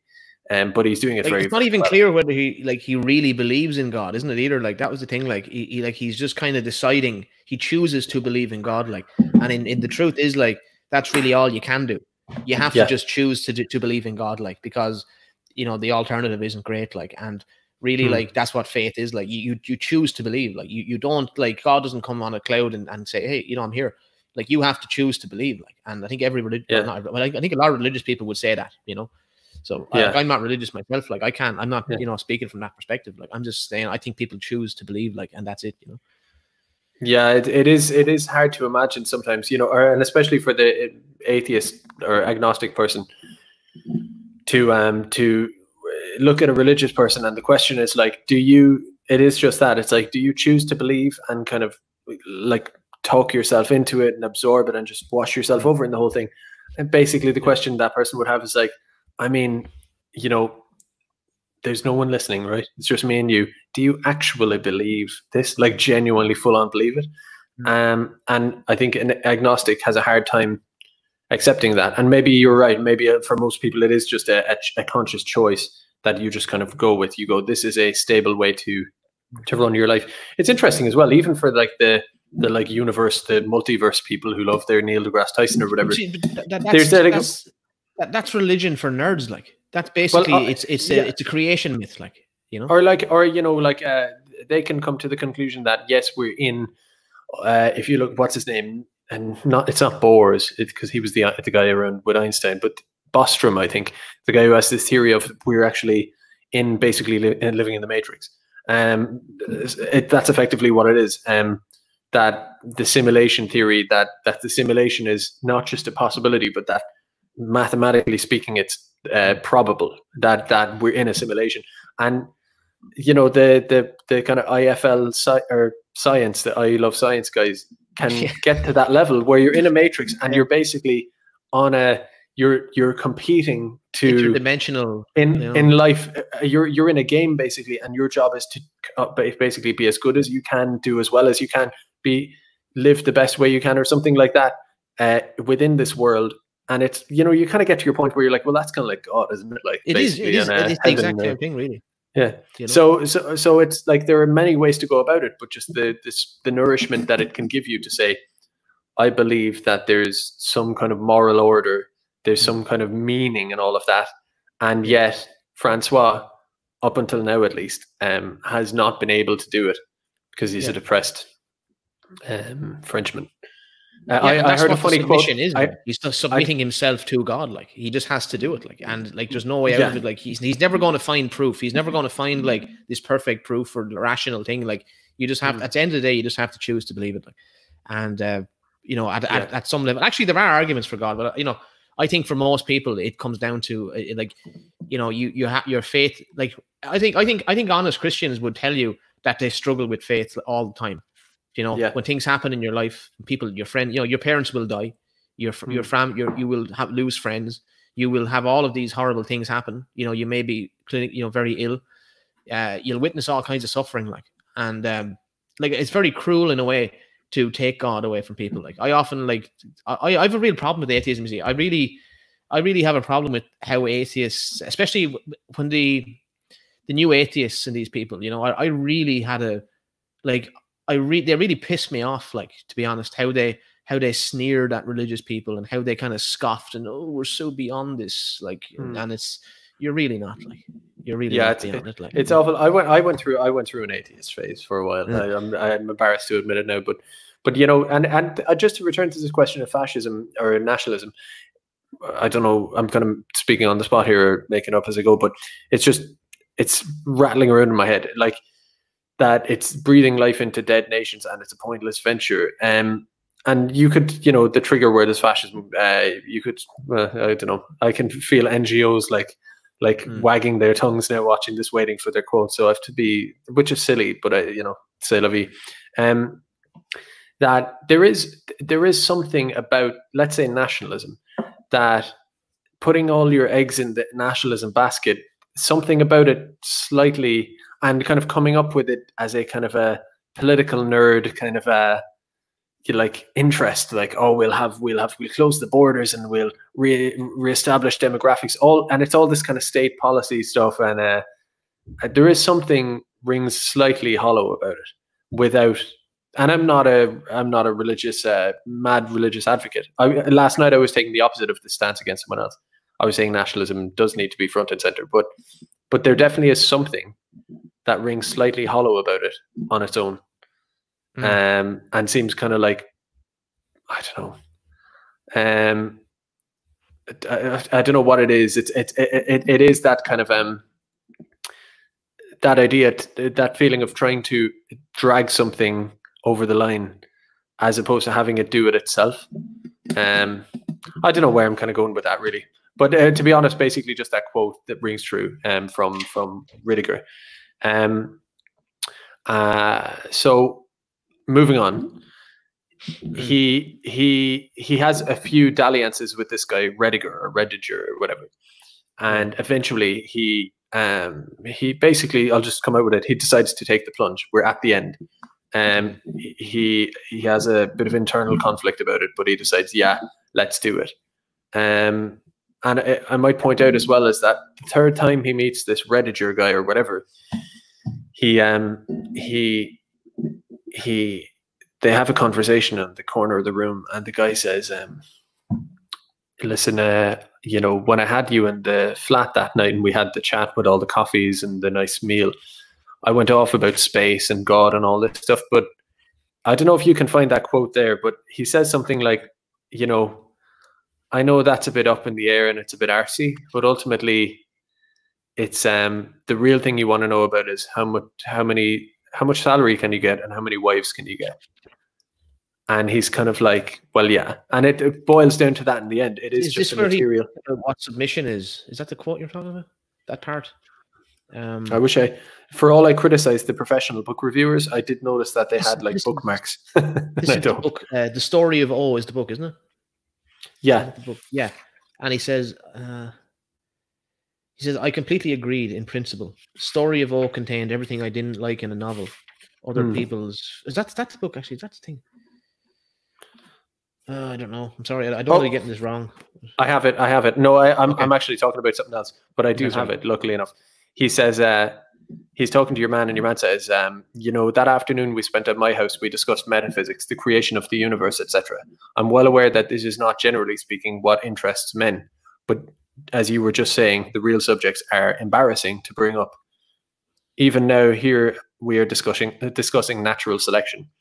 Um, we're trying to keep things on an elevated plane. Obviously, it's very hard to come out and ask, "What will you pay me? How many wives do I get?" Um, so, uh, in in the end, they kind of have this moment where they're like, "Listen, let's just kind of cut the shit a little bit here, right?"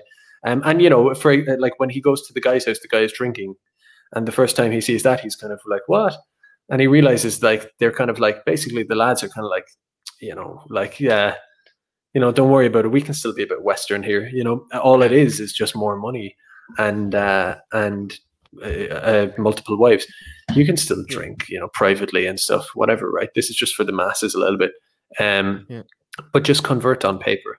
We just need you to just take the shahada or whatever and just do it, and then you can get your wives. You can get your salary multiplied by three, and all will be good. Just do it, bruh. Um, and I mean, any more thoughts on that, or will I just? I mean, oh, another thing, by the way, because I've only read this once, I didn't go over it. I've heard people saying he basically takes the plunge, he does his shahada, and he converts to Islam. That is the conclusion of this book. Um, and I've heard some people say that it's left ambiguous. Now, to me, it seemed like he just converted. Um, he describes it as if he's going to do it, kind of thing. But um, Mhm. But the the takeaway I took is that he just converted. Um, Yeah. and the I'll give people, seeming as we have just gone through a lot of it. The final uh, the final verse here is rather like my father a few rather like my father a few years before. I'd be given another chance. It would be the chance at a second life with very little connection to the old one. I would have nothing to mourn, and that's that basically. Now, did you like the book? I actually did like it. Yeah, like I don't read. I'll be honest. Like I don't read very much fiction. Like so, like my review is like just a personal thing completely. Like I have no idea what I'm doing here. Like I'm just talking about a book. Like and that's it. And Yeah, this like, isn't I'm a literature review. Yeah, it's it's uh, just Yeah. uh, like when you, it's more like when you see a movie and or a film, and you meet your friend and you're like, "What do you make of that?" And you talk talk about it for a while. You don't like break down the cinematography too much. You just give your impression. So I don't know. So Yeah. on that basis, what I mean, you know, thoughts? I yeah, well, I have loads of thoughts. I mean, he keeps bringing um, like ultimately, like it is a very uh, reactionary book in some respects, like because he's acknowledging like that um that basically the liberal world is just completely fucked, like, and it's it just something has to change, like, and you know, it's controversial because to even talk about the idea of Islam kind of taking over a European country is still now taboo, even though demographically it will happen. It just will Mm. happen. Like, and France could be the first one, in fact. You know, and on the on the, on the like on, like it it brings in demographics. Like he, he he doesn't say this in the book, like demographics, but basically this is what he's talking about because these these there's all this Arab money and there's all this like uh you know completely broken civilization and and these people are have you know basically a, a way of life like which they're they're just bringing here like and they're doing it like and you know it doesn't really matter what we think about it really because it's just going to happen and um Yeah, like it's a very reactionary kind of book like he's telling it like you know it, it's- amazing that it, I, i'm actually surprised to be honest that it is so well received you know there's all these like laudits like on the back and all like you know all these like the spectator the observer you know and I, i've seen loads of other ones like you know, you know, oh, it's it's one of the greatest buses. Submission is many things: comic, profound, and at times unexpectedly moving. Of the several suicide notes for the West, Houellebecq has written this in his best, and uh, this is his best. Sorry, and that's from the Observer. Like, and it's like you know, you wouldn't really be expecting like them to kind of appreciate the book that way, like, and kind of say that, like, because like you know, if, if you read their editorials, like, it probably is saying that's a conspiracy theory. You know? Yeah, there's there's something about it that slightly rubs me up the wrong way, and I it's I, I it's a very enjoyable book, very good book, but uh, to just read, but and then the question of me being annoyed at it is kind of like, is that the point of the book or whatever? And you know, did it mean to make me think that way? I don't care what it meant to make me think. I just, you know, I'll I'll I'll play along, right? Is that for one, it's ultimately just kind of like a novel version of a Douglas Murray book, uh, Strange mm. Death of Europe, or Mark Steyn, Islam Lights Out, or whatever, right? Mm. It's like someone read a few copies of those and just said, let me translate this into a kind of 1984 type of thing.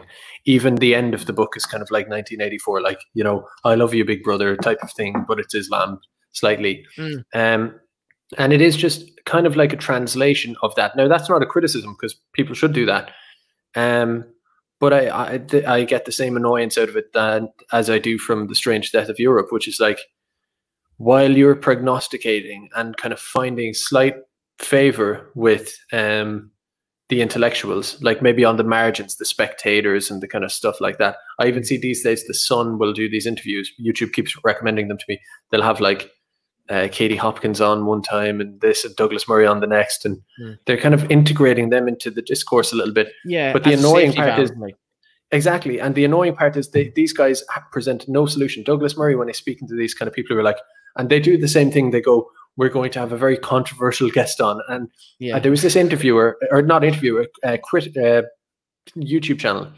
It's a like a small little YouTube channel. Um, I was telling you about this last night when we spoke. Her her name is um mom folding laundry. She's a an American mom, you know. Uh, she has a channel and she reviewed the book, and um, she's like, all of these critics keep talking about how controversial it is, and she's like, it's weird because to most normal people, that's not controversial at all. You know, demographics being a certain way, it being kind of bad, worrying about it, but to them, it's this big, oh, very exciting plaything. You know, how controversial. And it's like it's only you lads actually think that really. It was fun funnily enough um none of us do. Yeah, like regular um, people have no problem with this talking about these things at all. Like it's, be, it's because yeah. of people like you that we're not allowed to talk about this. And then they, oh we're, we're being controversial here today. That's because yeah. you censor everyone you censor everyone every day of the fucking week like and we have to then like you know have these kind of people come down on a cloud and explain to us you know, I tell you that, that actually there was a thing with Murray that actually annoys me too. Like I have his that book, like, and it, it is it's pretty good. Like you know, it's just some good stuff in there, or whatever. But like, what really bugs me is that then he goes, and we just don't know why it happened. Yeah. And we just don't know what happened, Lannister. We, we actually do know what happened. Like we, we know precisely what happened. Like, and we know that there are people working towards this every day of the year. Like, and hmm. you're just saying, what happened to Europe? Like, oh, oh it just it just died, and he's like, it's like yes. Icarus fallen.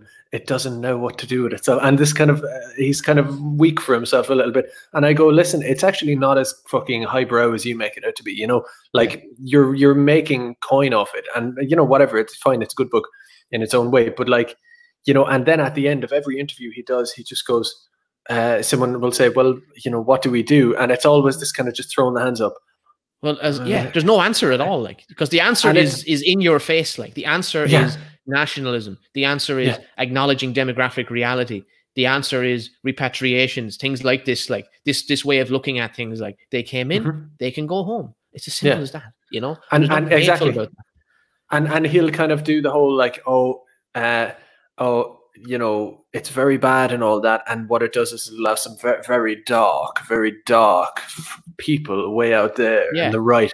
You know, those people who've been like, right, like those people who have I'm, been right for years. And I'm like, like, yeah. And I'm like, you, you're telling us our entire civilization is going to fall apart, and we're going to have to pay a jizya, and uh, yeah. it's our, our, it's the death of our civilization and all of this. But then you tell us, like, fuck off, you know. And uh, but then you're also making a kind of a, a name for yourself on the the wallowing of it all, but you have a big, massive kind of a gateway behind you on like someone saying, well, the obvious thing a normal person, like this uh, woman in this review too, she's just folding her laundry in the video, uh, uh, and it's far from the New York people uh, uh, reviewers couldn't come to this, and nor could like you know a, a, a kind of a a sit down between Mark Steyn and himself and Katie Hopkins, all of them. It's like, what are and you? then Like, Joe what- Rogan interviews Jordan Peterson, and then Jordan Yeah. Peterson interviews Joe Rogan, and then you know uh, what's his name? Uh, Murray interviews Jordan Peterson, and then Peterson and those Weinstein guys interview Joe Rogan. You know, and it's like this kind of like constant thing. But the main thing is they don't talk to people like us. You know what I mean? Yeah. Because we're the Never, dangerous never, ones. never. like, you know, Yeah, and, and and it kind of comes back to Houellebecq as well for me a little bit, which is why, in a way, I don't like I don't like the protagonist, and I don't like Houellebecq, um, in a way. And the the question of how much the, the protagonist and Houellebecq are the same guy, who knows? We could talk about that, but but part of me is with Houellebecq. He's he does the whole thing of like I'm the controversial guy who smokes the cigarettes, and and I say whatever, you know, um, and he insults the intellectuals for being basic and cowardly and all this. And he has done a lot. It's an important book and it does a lot for us. Grand. Mm. But like, if he was really controversial, he would have written a book that doesn't end with "I love you, Big Brother. I love you, Allah." He would have written a book where L'Empereur and the lads uh, uh, uh, alter history. you know, um, uh, that Yeah. would be a real like, and that's what again. I'm quoting this woman. I'm going to have to link it in the description afterwards because unlike any of the intellectuals, this was a based American mum with like 800 subscribers who gets to the heart of it. She's like, I like books about heroes. I don't like books about depressive failure and defeat. And yeah, it's uh, almost conditioning you to fail. Like it's telling you it's over. Just don't don't try and fight back. You know, because that would be the ultimate evil. You know, because that And- that would be you know camps and fucking holocausts and things like this. Like so, we can't go there. You know. which of course you and I know it wouldn't, but you know, No, you know that's the that's the narrative that's put on these things, and it's like Houellebecq is kind of taking that. uh, Like my thing is like you're very controversial, Houellebecq, but if you're you basically did a Douglas Murray book in fiction, and if you wanted to be really controversial, you would have um you would have written a book where where France revives itself and uh, Yeah, and that would it's, really. you know it's fuck it up. possible. Yeah. Now that'd be a book that you wouldn't be seeing. Uh, what do we have here? The Observer, yeah, Spectator, like you've said, reviewing and being like very interesting, uh, provocative book. They would be like, no, this book you can only get on like a some weird dark web. you know, it would be. They would be like, oh, because obviously, I don't want to get into it, but like you know, this like. It's it's that very same thing. It pro- pro- provides no answer. And again, I'm not saying like the alternative would have been race war now. It, it doesn't necessarily have to be like that, but Mm. there could have been France reviving itself and implementing in a in a way the same reactionary policies Abe did, Yeah, but exactly. just nationally. But But he couldn't I, do I that. I, won't. I won't criticize too much because I do think there have to be entry level. You know, Yeah, I sure. don't think everything. You know, I, I, I, actually agree with you. Like, because I, I know I, I do have these misgivings about Murray and people too sometimes. Like, but it's just like I they aren't they are a gateway to thinking because you know if you're someone in the liberal bubble, you know when you hear like Murray talk, like I can understand how that. I'm just trying to picture what that would be like, like to hear this Hmm. kind of talking about Islam and, and he doesn't know he has this thing Islam. Islam, Yeah. you know, and he, he kind of fall, he folds the leg like you know like this and Yeah, yeah, yeah. yeah. And, Yeah, you know, exactly, yeah. he's you know he's whatever he's Yeah. you know he's smooth and whatever, but like you know to uh, someone in the liberal bubble that is kind of revolutionary, I suppose too. Like, that is you know like And that's pretty much and they Hitler. need- you know what I mean? they them, like, yeah. so- exactly. But they needed um they needed on that presented to them on that kind of plate. And in a way, these intellectuals had to get it on the plate of another intellectual, this kind of author, writer, and via fiction and stuff like that. But again, I, you know, the depressive, like, it's a big thing of mine. Like, one of my guiding philosophies on everything is like, I, I reject the nihilistic and the misanthropic at all times. Every time it jumps in front of me, like a target range, I try to like shoot at it, like hit that target. And, you know, to me, it's like, get away from me. I don't like it. And I know it sounds kind of ignorant that I'm, it's not like I'm afraid of it, but I just, um, you know, and again, I enjoyed the book, obviously, but, um, but just there's a, there's an element of that depressive. And, you know, I mean, you take one look at Houellebecq, he looks like Francois. I mean, that's another question. Where, where do you think that lies? Houellebecq versus Francois. Do you think he is like putting these like long, like five five page red pills coming from Lempereur? Like, is that just um is that just uh, Houellebecq doing propaganda? is he is he like just like is is that he's not that's not his real opinion? Is that what you're saying? Like like or is it his opinion? Is that what you're saying? No, is it? I'm saying, is it his opinion? Is he just using this as Yeah. a way to just red pill everybody? I keep thinking about this, and I I uh, I don't know. Like I actually don't Hmm. know, and and I deliberately didn't uh, kind of look up because I, I didn't want to have my reaction be just like the conventional reaction, like you know, because there probably is an answer that he probably told me. I, I don't know. I didn't actually Hmm. look it up to find out what he had written, what he had said about the book. Like I wanted to just take the book for what it was, you know. So Yeah. I would say my instinct tells me that like anyone who wrote that way would have to have like some uh like sympathy to those opinions like even even if he's just still a liberal or whatever who uh is just anti-islam do you know what i mean? Like even like because he, he clearly does know some of the, the kind of the realities like you know and and it's not like the, the book isn't um inaccurate like i i think his his depiction of what france would be is not that far off like because it probably would maintain a kind of a liberal a more liberalized islam you know it would it wouldn't uh you know like it doesn't have to be like this kind of jihadist stuff you know what i mean? Like there are like moderate there are moderate muslims you know? And uh i think his views are he's he's just i think he wanted to be controversial he definitely seems to get off on being controversial. And i suppose like it is it is a controversial thing to su- to suppose that islam will be the savior of europe especially Mm. when you're not you're you're not allowed to even consider that that could be a reality like you know it, it could actually happen like demographically very soon you know so I, for that reason it tells me he's probably somewhat coming around to those ideas like but i, I don't i don't think he's a reactionary really I, I but at the same I accept your point that like you can't know that much and just be like, oh well I'm really a liberal. It's just me, it's an intellectual exercise, you know, via characters. Obviously you can't know all that and not have that position yourself a little bit. Um one thing I find um interesting about the book is the kind of it layers in upon itself. And I do wonder if he was being very big brained in in in his kind of in that you have the story happening, but then there's all of these, and we're not going full literature review here, but I'm just in a normal way. I'm just saying Mm. there are layers here, and f- here's one thing that's uh, just a coincidence, but I think it was the chat maybe you could say or whatever, but it was Jul- uh, January, I think the fifth or the seventh, I think it was the seventh, uh, 2015. It was the day submission was released, and that was the same day Charlie Hebdo was gunned down. The very same day, Yeah. um, which is unreal. It's like his book came to life as he that is released it yeah Yeah. Jesus. it's incredible that and uh, another thing is that when one of his friends he uh, one of the charlie hebdo guys was a buddy of his um, and that Mm. hit him hard and he ended up himself under police protection 24 hour after all of this happened because he's kind of a target and um, he he fucked off to ireland he lived on bear island in cork for like Mm. years and years and years i think he's moved back now but for years after the release of this he lived in Bear Island in Cork, which is just like Francois. When shit goes down, he ends up Mm. having to bounce off to the countryside. Um, another thing is obviously the Huysmans thing. Like Huysmans converted to Christianity as an answer to his despair uh, when he was 44, and Francois converts to Islam when he's 44. So that's a little note. And then another thing that interested me is that I kept having contempt for Francois and kind of Houellebecq in a way, being like, you fucking pieces of shite, basically. Like you treat these nationalists. Francois is like dismissive of it all, and then when it starts to happen, he just runs away and he's all about himself and stuff. And it's like, well, why didn't you just join the National Front Resistance? And what, like, what's what's wrong with you? Like, you know, you Yeah. all you did. And there's another note of where like he he gets a taxi ride at some point, and he says that the taxi driver was a guy, uh, the rare breed who genuinely cared, seemed to want you to have a good time or be happy or something like that. He makes a note like that. He goes, in other words, he was genuinely nice. Hmm. And I'm like, yeah, he was nice, unlike you.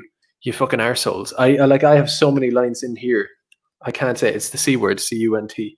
Uh, like in my- in my notes here I've written, I have the word that word written about ten times because I'm like taking it. Obviously, if Houellebecq were here, he'd be like, "Well, I was meaning to make you feel like that." But Yeah. you know, there's there's there's a bit. So I have this criticism where I'm like, "Well, what about you know what about just being a nationalist and not being a nihilist and kind of self-absorbed the entire time?" Uh, oh, and with the taxi driver guy, I was like, "Yeah, that taxi driver is probably based enough and a nice guy and a wholesome man who isn't constantly like, oh no." I'm I'm I don't know t- what my life means. You know, the taxi driver probably is sound and probably would stand up for his community and his country. And I'm like, well, maybe that's why. Maybe maybe having people like you, Francois, uh, in charge of our civilization for the last like 50 Yeah. years is why we and you fucking ended up converting to Islam and uh, taking a triple salary and 10 brides or whatever. Yeah. So fuck you. And then also, then the the the crux of this though is that there's a bit where he's talking to Lempereur and uh, they're chatting away, and your man's kind of like saying, "Here we kind of have a." You know, a program of action here, kind of thing. We believe this and that, how to resurrect the West, and he's the nationalist guy. And uh, at one point, Francois says something to him, and there's a line I, I don't have it here, but um, uh, it's just kind of thrown in there where a contemptuous smile played. Uh, uh, he basically um he says like a contemptuous smile played over Lempereur's lips, Mm. Just mid conversation. So you know it's describing oh he, his eyebrow raised, his this that, and one of it is that he had this contemptuous smile, and I think Lempereur is looking at Francois the way I'm looking at Francois and Houellebecq, being like you fucking assholes. I I feel like the Lempereur in the situation. And then I kind of go, did Houellebecq put him in there self consciously, like self aware of that? Mm. Um, do you know what I mean? yeah, and I, I That's what think I'm saying.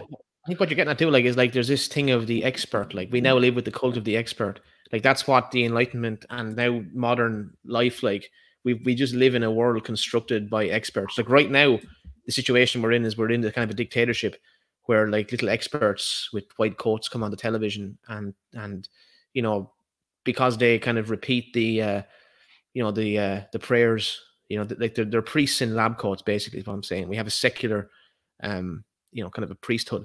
And uh this is this is like there's a lot of people who've written about this. Like there was um your man james burnham who was a who was a leftist like but he wasn't a communist back in i think it was like 19 1930s or 40s he wrote the book the managerial revolution. And it's all about this idea like that humanity essentially is, is now we just kind of there's been a return to oligarchy. And we uh that's kind of you know and orwell actually orwell actually critiqued him like and uh, they had this back and forth you know what i mean? And then orwell wrote 1984 which is almost like a response to that's that society you know so like it's interesting you brought up orwell as well because it's kind of like you know it's like a circle here but uh i don't know if i'm making this point well enough but, but what i'm saying is that like we have this like uh this tyranny of the expert and this like the this secular priesthood and they've no answers whatsoever really you know Yeah, everyone that's- you know, they that can't takes- offer you any hope like you know that takes us back to the Una Mullallys and the Blind Boys and all of that. They they have it's a pure managerial, and they are ultimately a managerial class themselves in a propagandistic way, but. And they're the ones who tell you what to believe and, and strive for the revolution, which you're kind of going. I mean, what is it? Um, but um, the and there's another interesting little layer of irony as well in this, um, in that after the Charlie Hebdo thing, Charlie Hebdo and submission happen on the same day, and uh, you know, like I say, there's that layer of like the the intellectual class, the way they're going, oh, it's very controversial, but also is misogynistic and stuff. And uh, you're kind of going, well, you're being the characters in the book, and maybe I'm being maybe I'm being Lempereur, and um, and then also uh, was it Manuel Valls, who's like the prime minister or the president, whatever way France works. Manuel Valls, after like a few days after both uh, submission comes out and and Charlie Hebdo happens, he said, um, um, uh, France is not France is not um, Houellebecq. France is not hate. France is not fear. And I was like, you sound exactly, obviously, like those characters. I think he actually uses Manuel Valls in the book, who is all about this stuff. Like they keep saying, this is a, a, a threat to the republic, Republican values, these kind of uh, Yeah. French Revolution liberal values almost. Um, like, and they they claim that that's actually a thing. And I'm kind of, you know, my thing is when I hear Manuel Valls or anyone say this kind of stuff, this is a grave threat to our our values and our this and our that. You're kind of going, there are no values. Like this thing is a, a like basically a a material corporate uh, consumerist um, commercial uh, individualist behemoth. That's like that's like there are no values. Like you know, it doesn't have values besides individualism, basically. Um, and and yet It's just yeah, the it's just character. personal licentiousness to do whatever you want, like, and have no consequences. Have no one be able to enforce the consequences of your actions upon you is really what they're running from. Like that's what that's why they're so scared of like the right. That's what really terrifies them is the idea that they actually you do have responsibilities like that are bigger than you. Your your Hmm. responsibilities aren't just to have fun. You know, you like th- that is, I think that's the real. That's what they really despise. That's why they're. That's why they, they can't even talk about it. They can't even entertain any any of the arguments or the ideas or anything like because it just re, it just reminds them like that like no yeah. one isn't no one isn't at like all like we're all connected in some way you know if you want to be a drug addict or something you know you will affect your family you will affect your community you will you know end up you know that's the you know you can't separate yourself out like and that's what the that's the individual lie you know we aren't we're individuals in a sense like we are we have our bodies we're all that but in, in other ways mm. we're not we are communities like we are family we are you have genetic you know lineage mm. and all this stuff so and, and like you know even you becoming a drug drug addict is bad for you as well. And there should be a you know for like i think a lot of western people will have this experience of like the amount of mistakes you made over your own life in your own youth.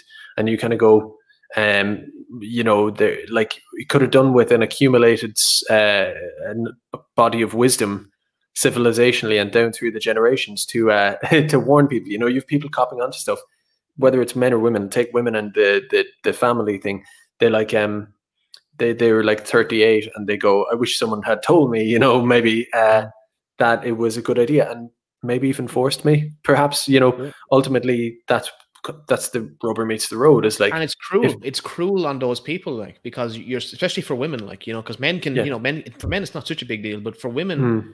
like it really is like uh an awful thing like to tell a woman it's like, existential oh, yeah. yeah it doesn't matter it doesn't matter like you know and like i've seen it you know we've all seen it you know in our own lives like it happened to people you know and it's uh you know like is that not cruel? Like is that not the definition of cruelty to deny to, to, to deny a woman you know the uh the chance of having a family so mm. she can basically be a corporate prostitute you know? Like i i just don't see how that's good for women or forward thinking i think it's an awful thing you know and it's it's obviously not good for men either in its own ways uh, as a parallel to it. But you know um the the this um i'll link it afterwards when this is up but um or uh, like up you know after it's streamed.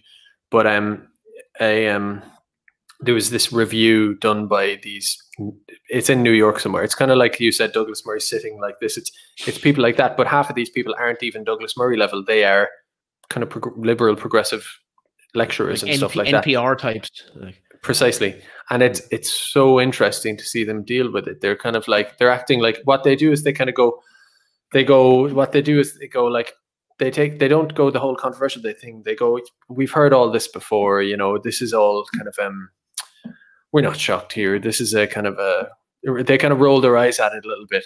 Um and also kind of go oh, it's fun and interesting but but it's they do become his colleagues in the book at the front table and it's fascinating um, I mean, I don't know. Do I have any more conclusions to make about this book uh, besides um, not liking the ending? And I know that's mm. kind of like uh, simple of me to say, "Oh, I don't like that that happened," but you know, I would like to see people write books, and and I recommend this book big time mm. to everybody. But just I would like to see someone write one where um where things change a little bit. Mm. Um, yeah, yeah, I know. I know what you're saying. Like, like I, I, would, I would give him a lot of credit for making it. Like, I, I love the fact that he's just tearing the piss out of like the experts and mm. the academy and, and the lecturers and all these like people. Like, I just thought that was like, it was really, uh, you know, it's um, I don't know. It's just, it's just so refreshing to see that, you know, in a mm. kind of a popular mainstream book. Like, it, you know, because it's not yeah. like a niche book. This is a big selling book. Like, a lot of people have read this. Like, you know.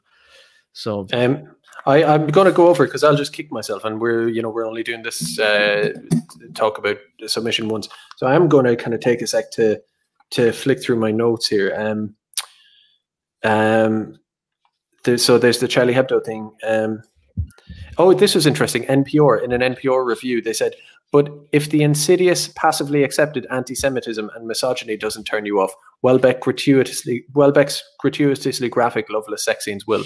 Now, let's go back to the start of that. But if the insidious passively accepted anti Semitism, I was kind of going. It's philo-Semitic, if anything, like. Yeah, yeah, know, yeah. Like, it, like, is that the word? Is that the correct word? I don't even know if that is. That's it, basically, word, it's yeah, pro. Yeah. It's it's it paints like Jews in a good light. I would say. You know, and if you consider it kind of a mix of victimhood and kind of reverence, yeah, yeah, and um, like oh, we are victimized, but also we are to be revered as a you know this good thing or whatever, this good unit of people. Um, it's weird. I was like, where the fuck did you get that from, love? Yeah, it's, it, um, like I think any discussion of that in a book now is just seen as like it's like if if if the black character or whatever isn't like the main protagonist, like then oh Hmm. that's that's a diminishment of the of the racial you know element. Like oh they're, they're, they're oh the of course the black character is not the main character. You know this is this Hmm. kind of thing now. Like so every every film has to be looked at in this way, like Hmm. through this like lunatic you know lens. Yeah, it's. I, I think we could probably go on for another hour of like, what would a Christianity that has some balls, the way Islam does, look like? But Mm. there's probably no point trying to delve in there. But it is a, like there's a line in the middle of it when it starts. The period where he first starts to be talked around by this um, this um, what's his name, the guy who converts him to Islam. Rediger, Um, Ret- Rediger, Ret- he Yeah. he um before that those chapters begin. There's a line of uh, if Islam is not political, it is nothing from uh, K- Khomeini, Ayatollah Khomeini, Mhm. and uh, it did get me thinking of like, okay, well, what would a a a strong, virile, politic, politicized Christianity look like? I don't know if you have thoughts on that, but it's it's maybe too long to get into.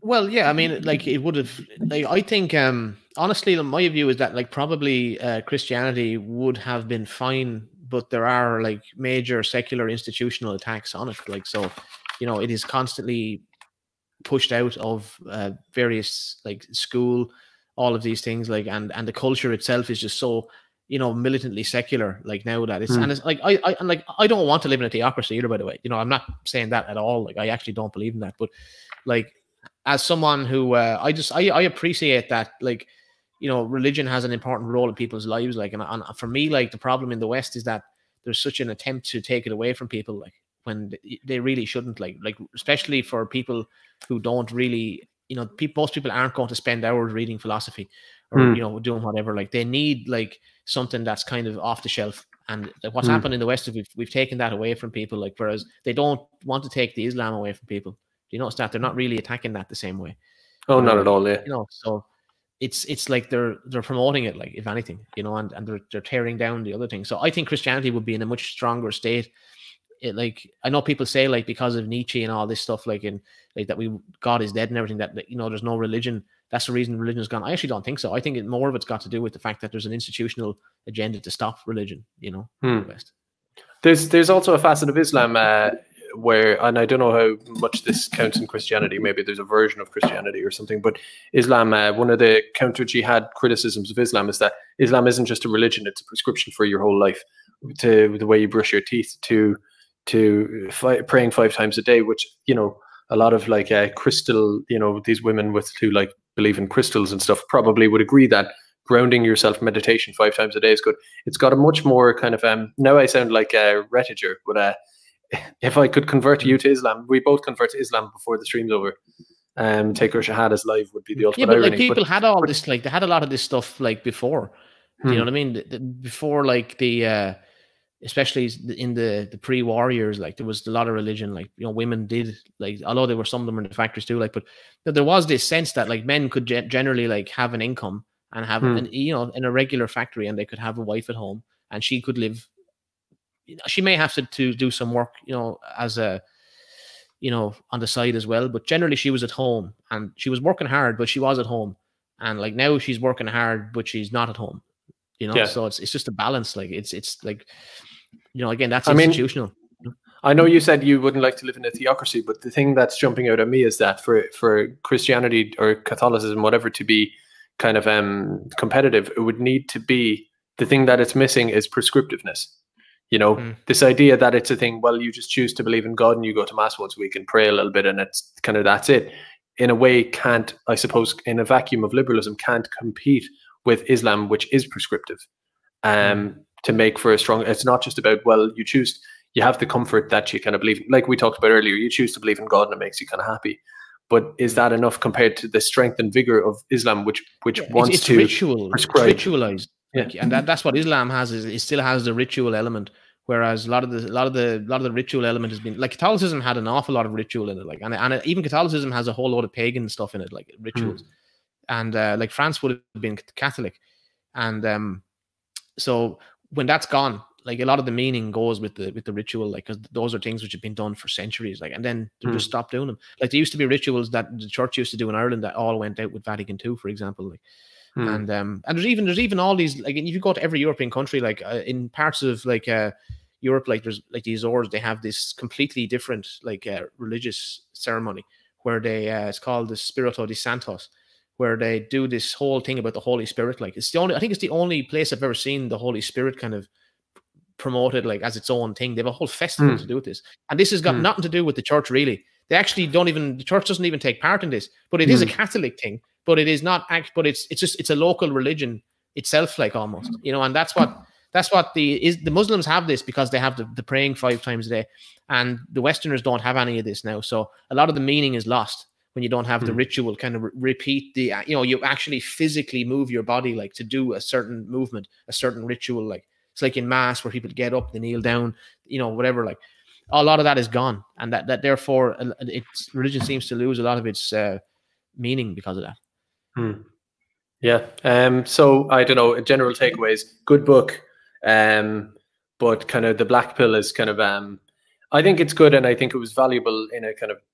I'll be frank, in a propaganda sense for the the liberals, for the normies, so to speak, for whatever to just to kind of I think that sold 650,000 copies maybe in France alone so a lot of people read it which is actually very interesting if so many people in France have read this how can they not be like red pilled I don't want to use the word radicalized again the NGOs will come down on me but yeah, yeah. um how can they like how can it, uh, people be like mass have on ma- read this book on a mass basis and there not be like um revolution going on in a sense it's strange like you know to even read this and just go oh yeah okay interesting know, yeah. controversial I know because you're hmm. reading it and you're almost going like, you know, yeah, you get it. And now what? Yeah. You know what I mean? What's what, what, let's do something, you know? And yeah. it's like, uh, well, uh, nothing happened. You know what I mean? Like the election yeah. happened and Le Pen got wiped out by Macron.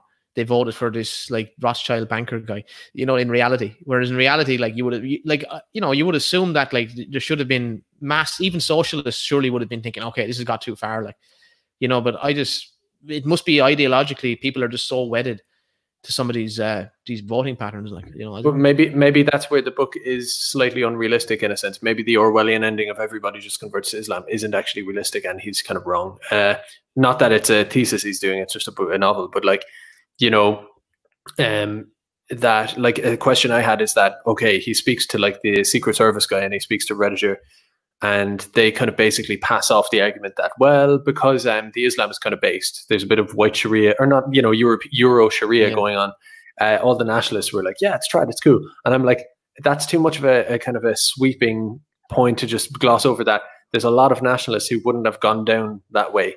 So what happened to them throughout the course of this novel? I'm like where did they go to for one? Yeah most people um, won't have two wives like yeah. you know? So I, exactly. So it's like they're, they're he's like, in the elite like almost yeah, there's he basically pretends that there is no resistance, um, and that's how it goes, which is just a little bit as interesting it is uh, as it is as a novel. It's like that's kind of missing in it. You're like, mm. it's not gonna not not so fast kind of thing. Like is my is ultimate he, take. But is he right though? Like is like I know there's a kind of resistance, but in reality, like European countries are just sleepwalking into this future, really, in a way. Like not, mm. maybe not exactly like he says, but like they are kind of not voting. Like I suppose there's the AFD and these things, like, but there's not like uh like there's not blood in the streets. Do you know what I mean? And, and it's almost yeah. like it's just it's just based on breeding patterns. It's just going to demographically alter, and then in yeah. a few years it will be no going back. I mean, I suppose it. there is blood on the streets where when you look at the likes of um uh, stuff like Charlie Hebdo, and then you look yeah. at New Zealand, right? Your man nutcase. Obviously, so are the Hebdo guys. No, it's a bit glib to just dis- dismiss them both as nutcases, but they're they're a symptom of of this clash of civilizations, these kind of outbursts and uh, these kind of um these kind of surreal violence, or this kind of surreal violence that emerges bit by bit. But I, maybe you're kind of arguing that that could happen sporadically, but ultimately the direction is still the same direction we're going in. Um, I don't know. It's again, it comes down to to me. The most interesting is at a individual level when you meet a person who agrees with you entirely. I'm not going to name names or point fingers at the kind of people I'm talking about. I think you might have an idea when when people are in a position where they want to assert themselves and you meet them individually and they keep couching themselves and all of that. That's where the rubber hits the road for me because I look at like political parties and voting and all of that, mm. like the Machiavellian game of how we take power, and I'm like, okay, whatever the main thing for me is when I meet people at an individual level who I know privately agree and all of that, they're faced with a situation. Uh, I'm talking about asylum towns, right? Um, mm-hmm. where it's it couldn't be more obvious, um, uh, stuff like that, and they yet they they are they they will stress this is not about anything at all. It's just about yeah. Uh, and I'm going. So I'm going. Like it's like it's just before we ever get to a point of political parties and Machiavellian takeovers. If that can't be, however, that weird belief yeah. system got into if, every normal if, person, if, until that. Yeah, until you can get that, until you get that, until somehow people can be like educated on how to like get themselves out of that a little bit, then there is no hope. I mean, then Houellebecq's right. Yeah, I, I, like that's the that's exactly what I, that's actually crystallizing exactly what I was trying to say there before. That's exactly it. It's, it is that reaction like your town is going to be like half and half overnight, majority non-Irish, like at least half and half. Some of these cases, like a town of hundred people, a mm-hmm. hundred migrants come in from the god, uh, you know, the depths of like the opposite side of the planet, like, and mm-hmm. you're just like, you know, this is an existential thing. Like, like this mm-hmm. is literally like ethnic warfare. You are having ethnic warfare played against you. You're and be and it's because I think it actually it's because people cannot understand like what is actually driving it.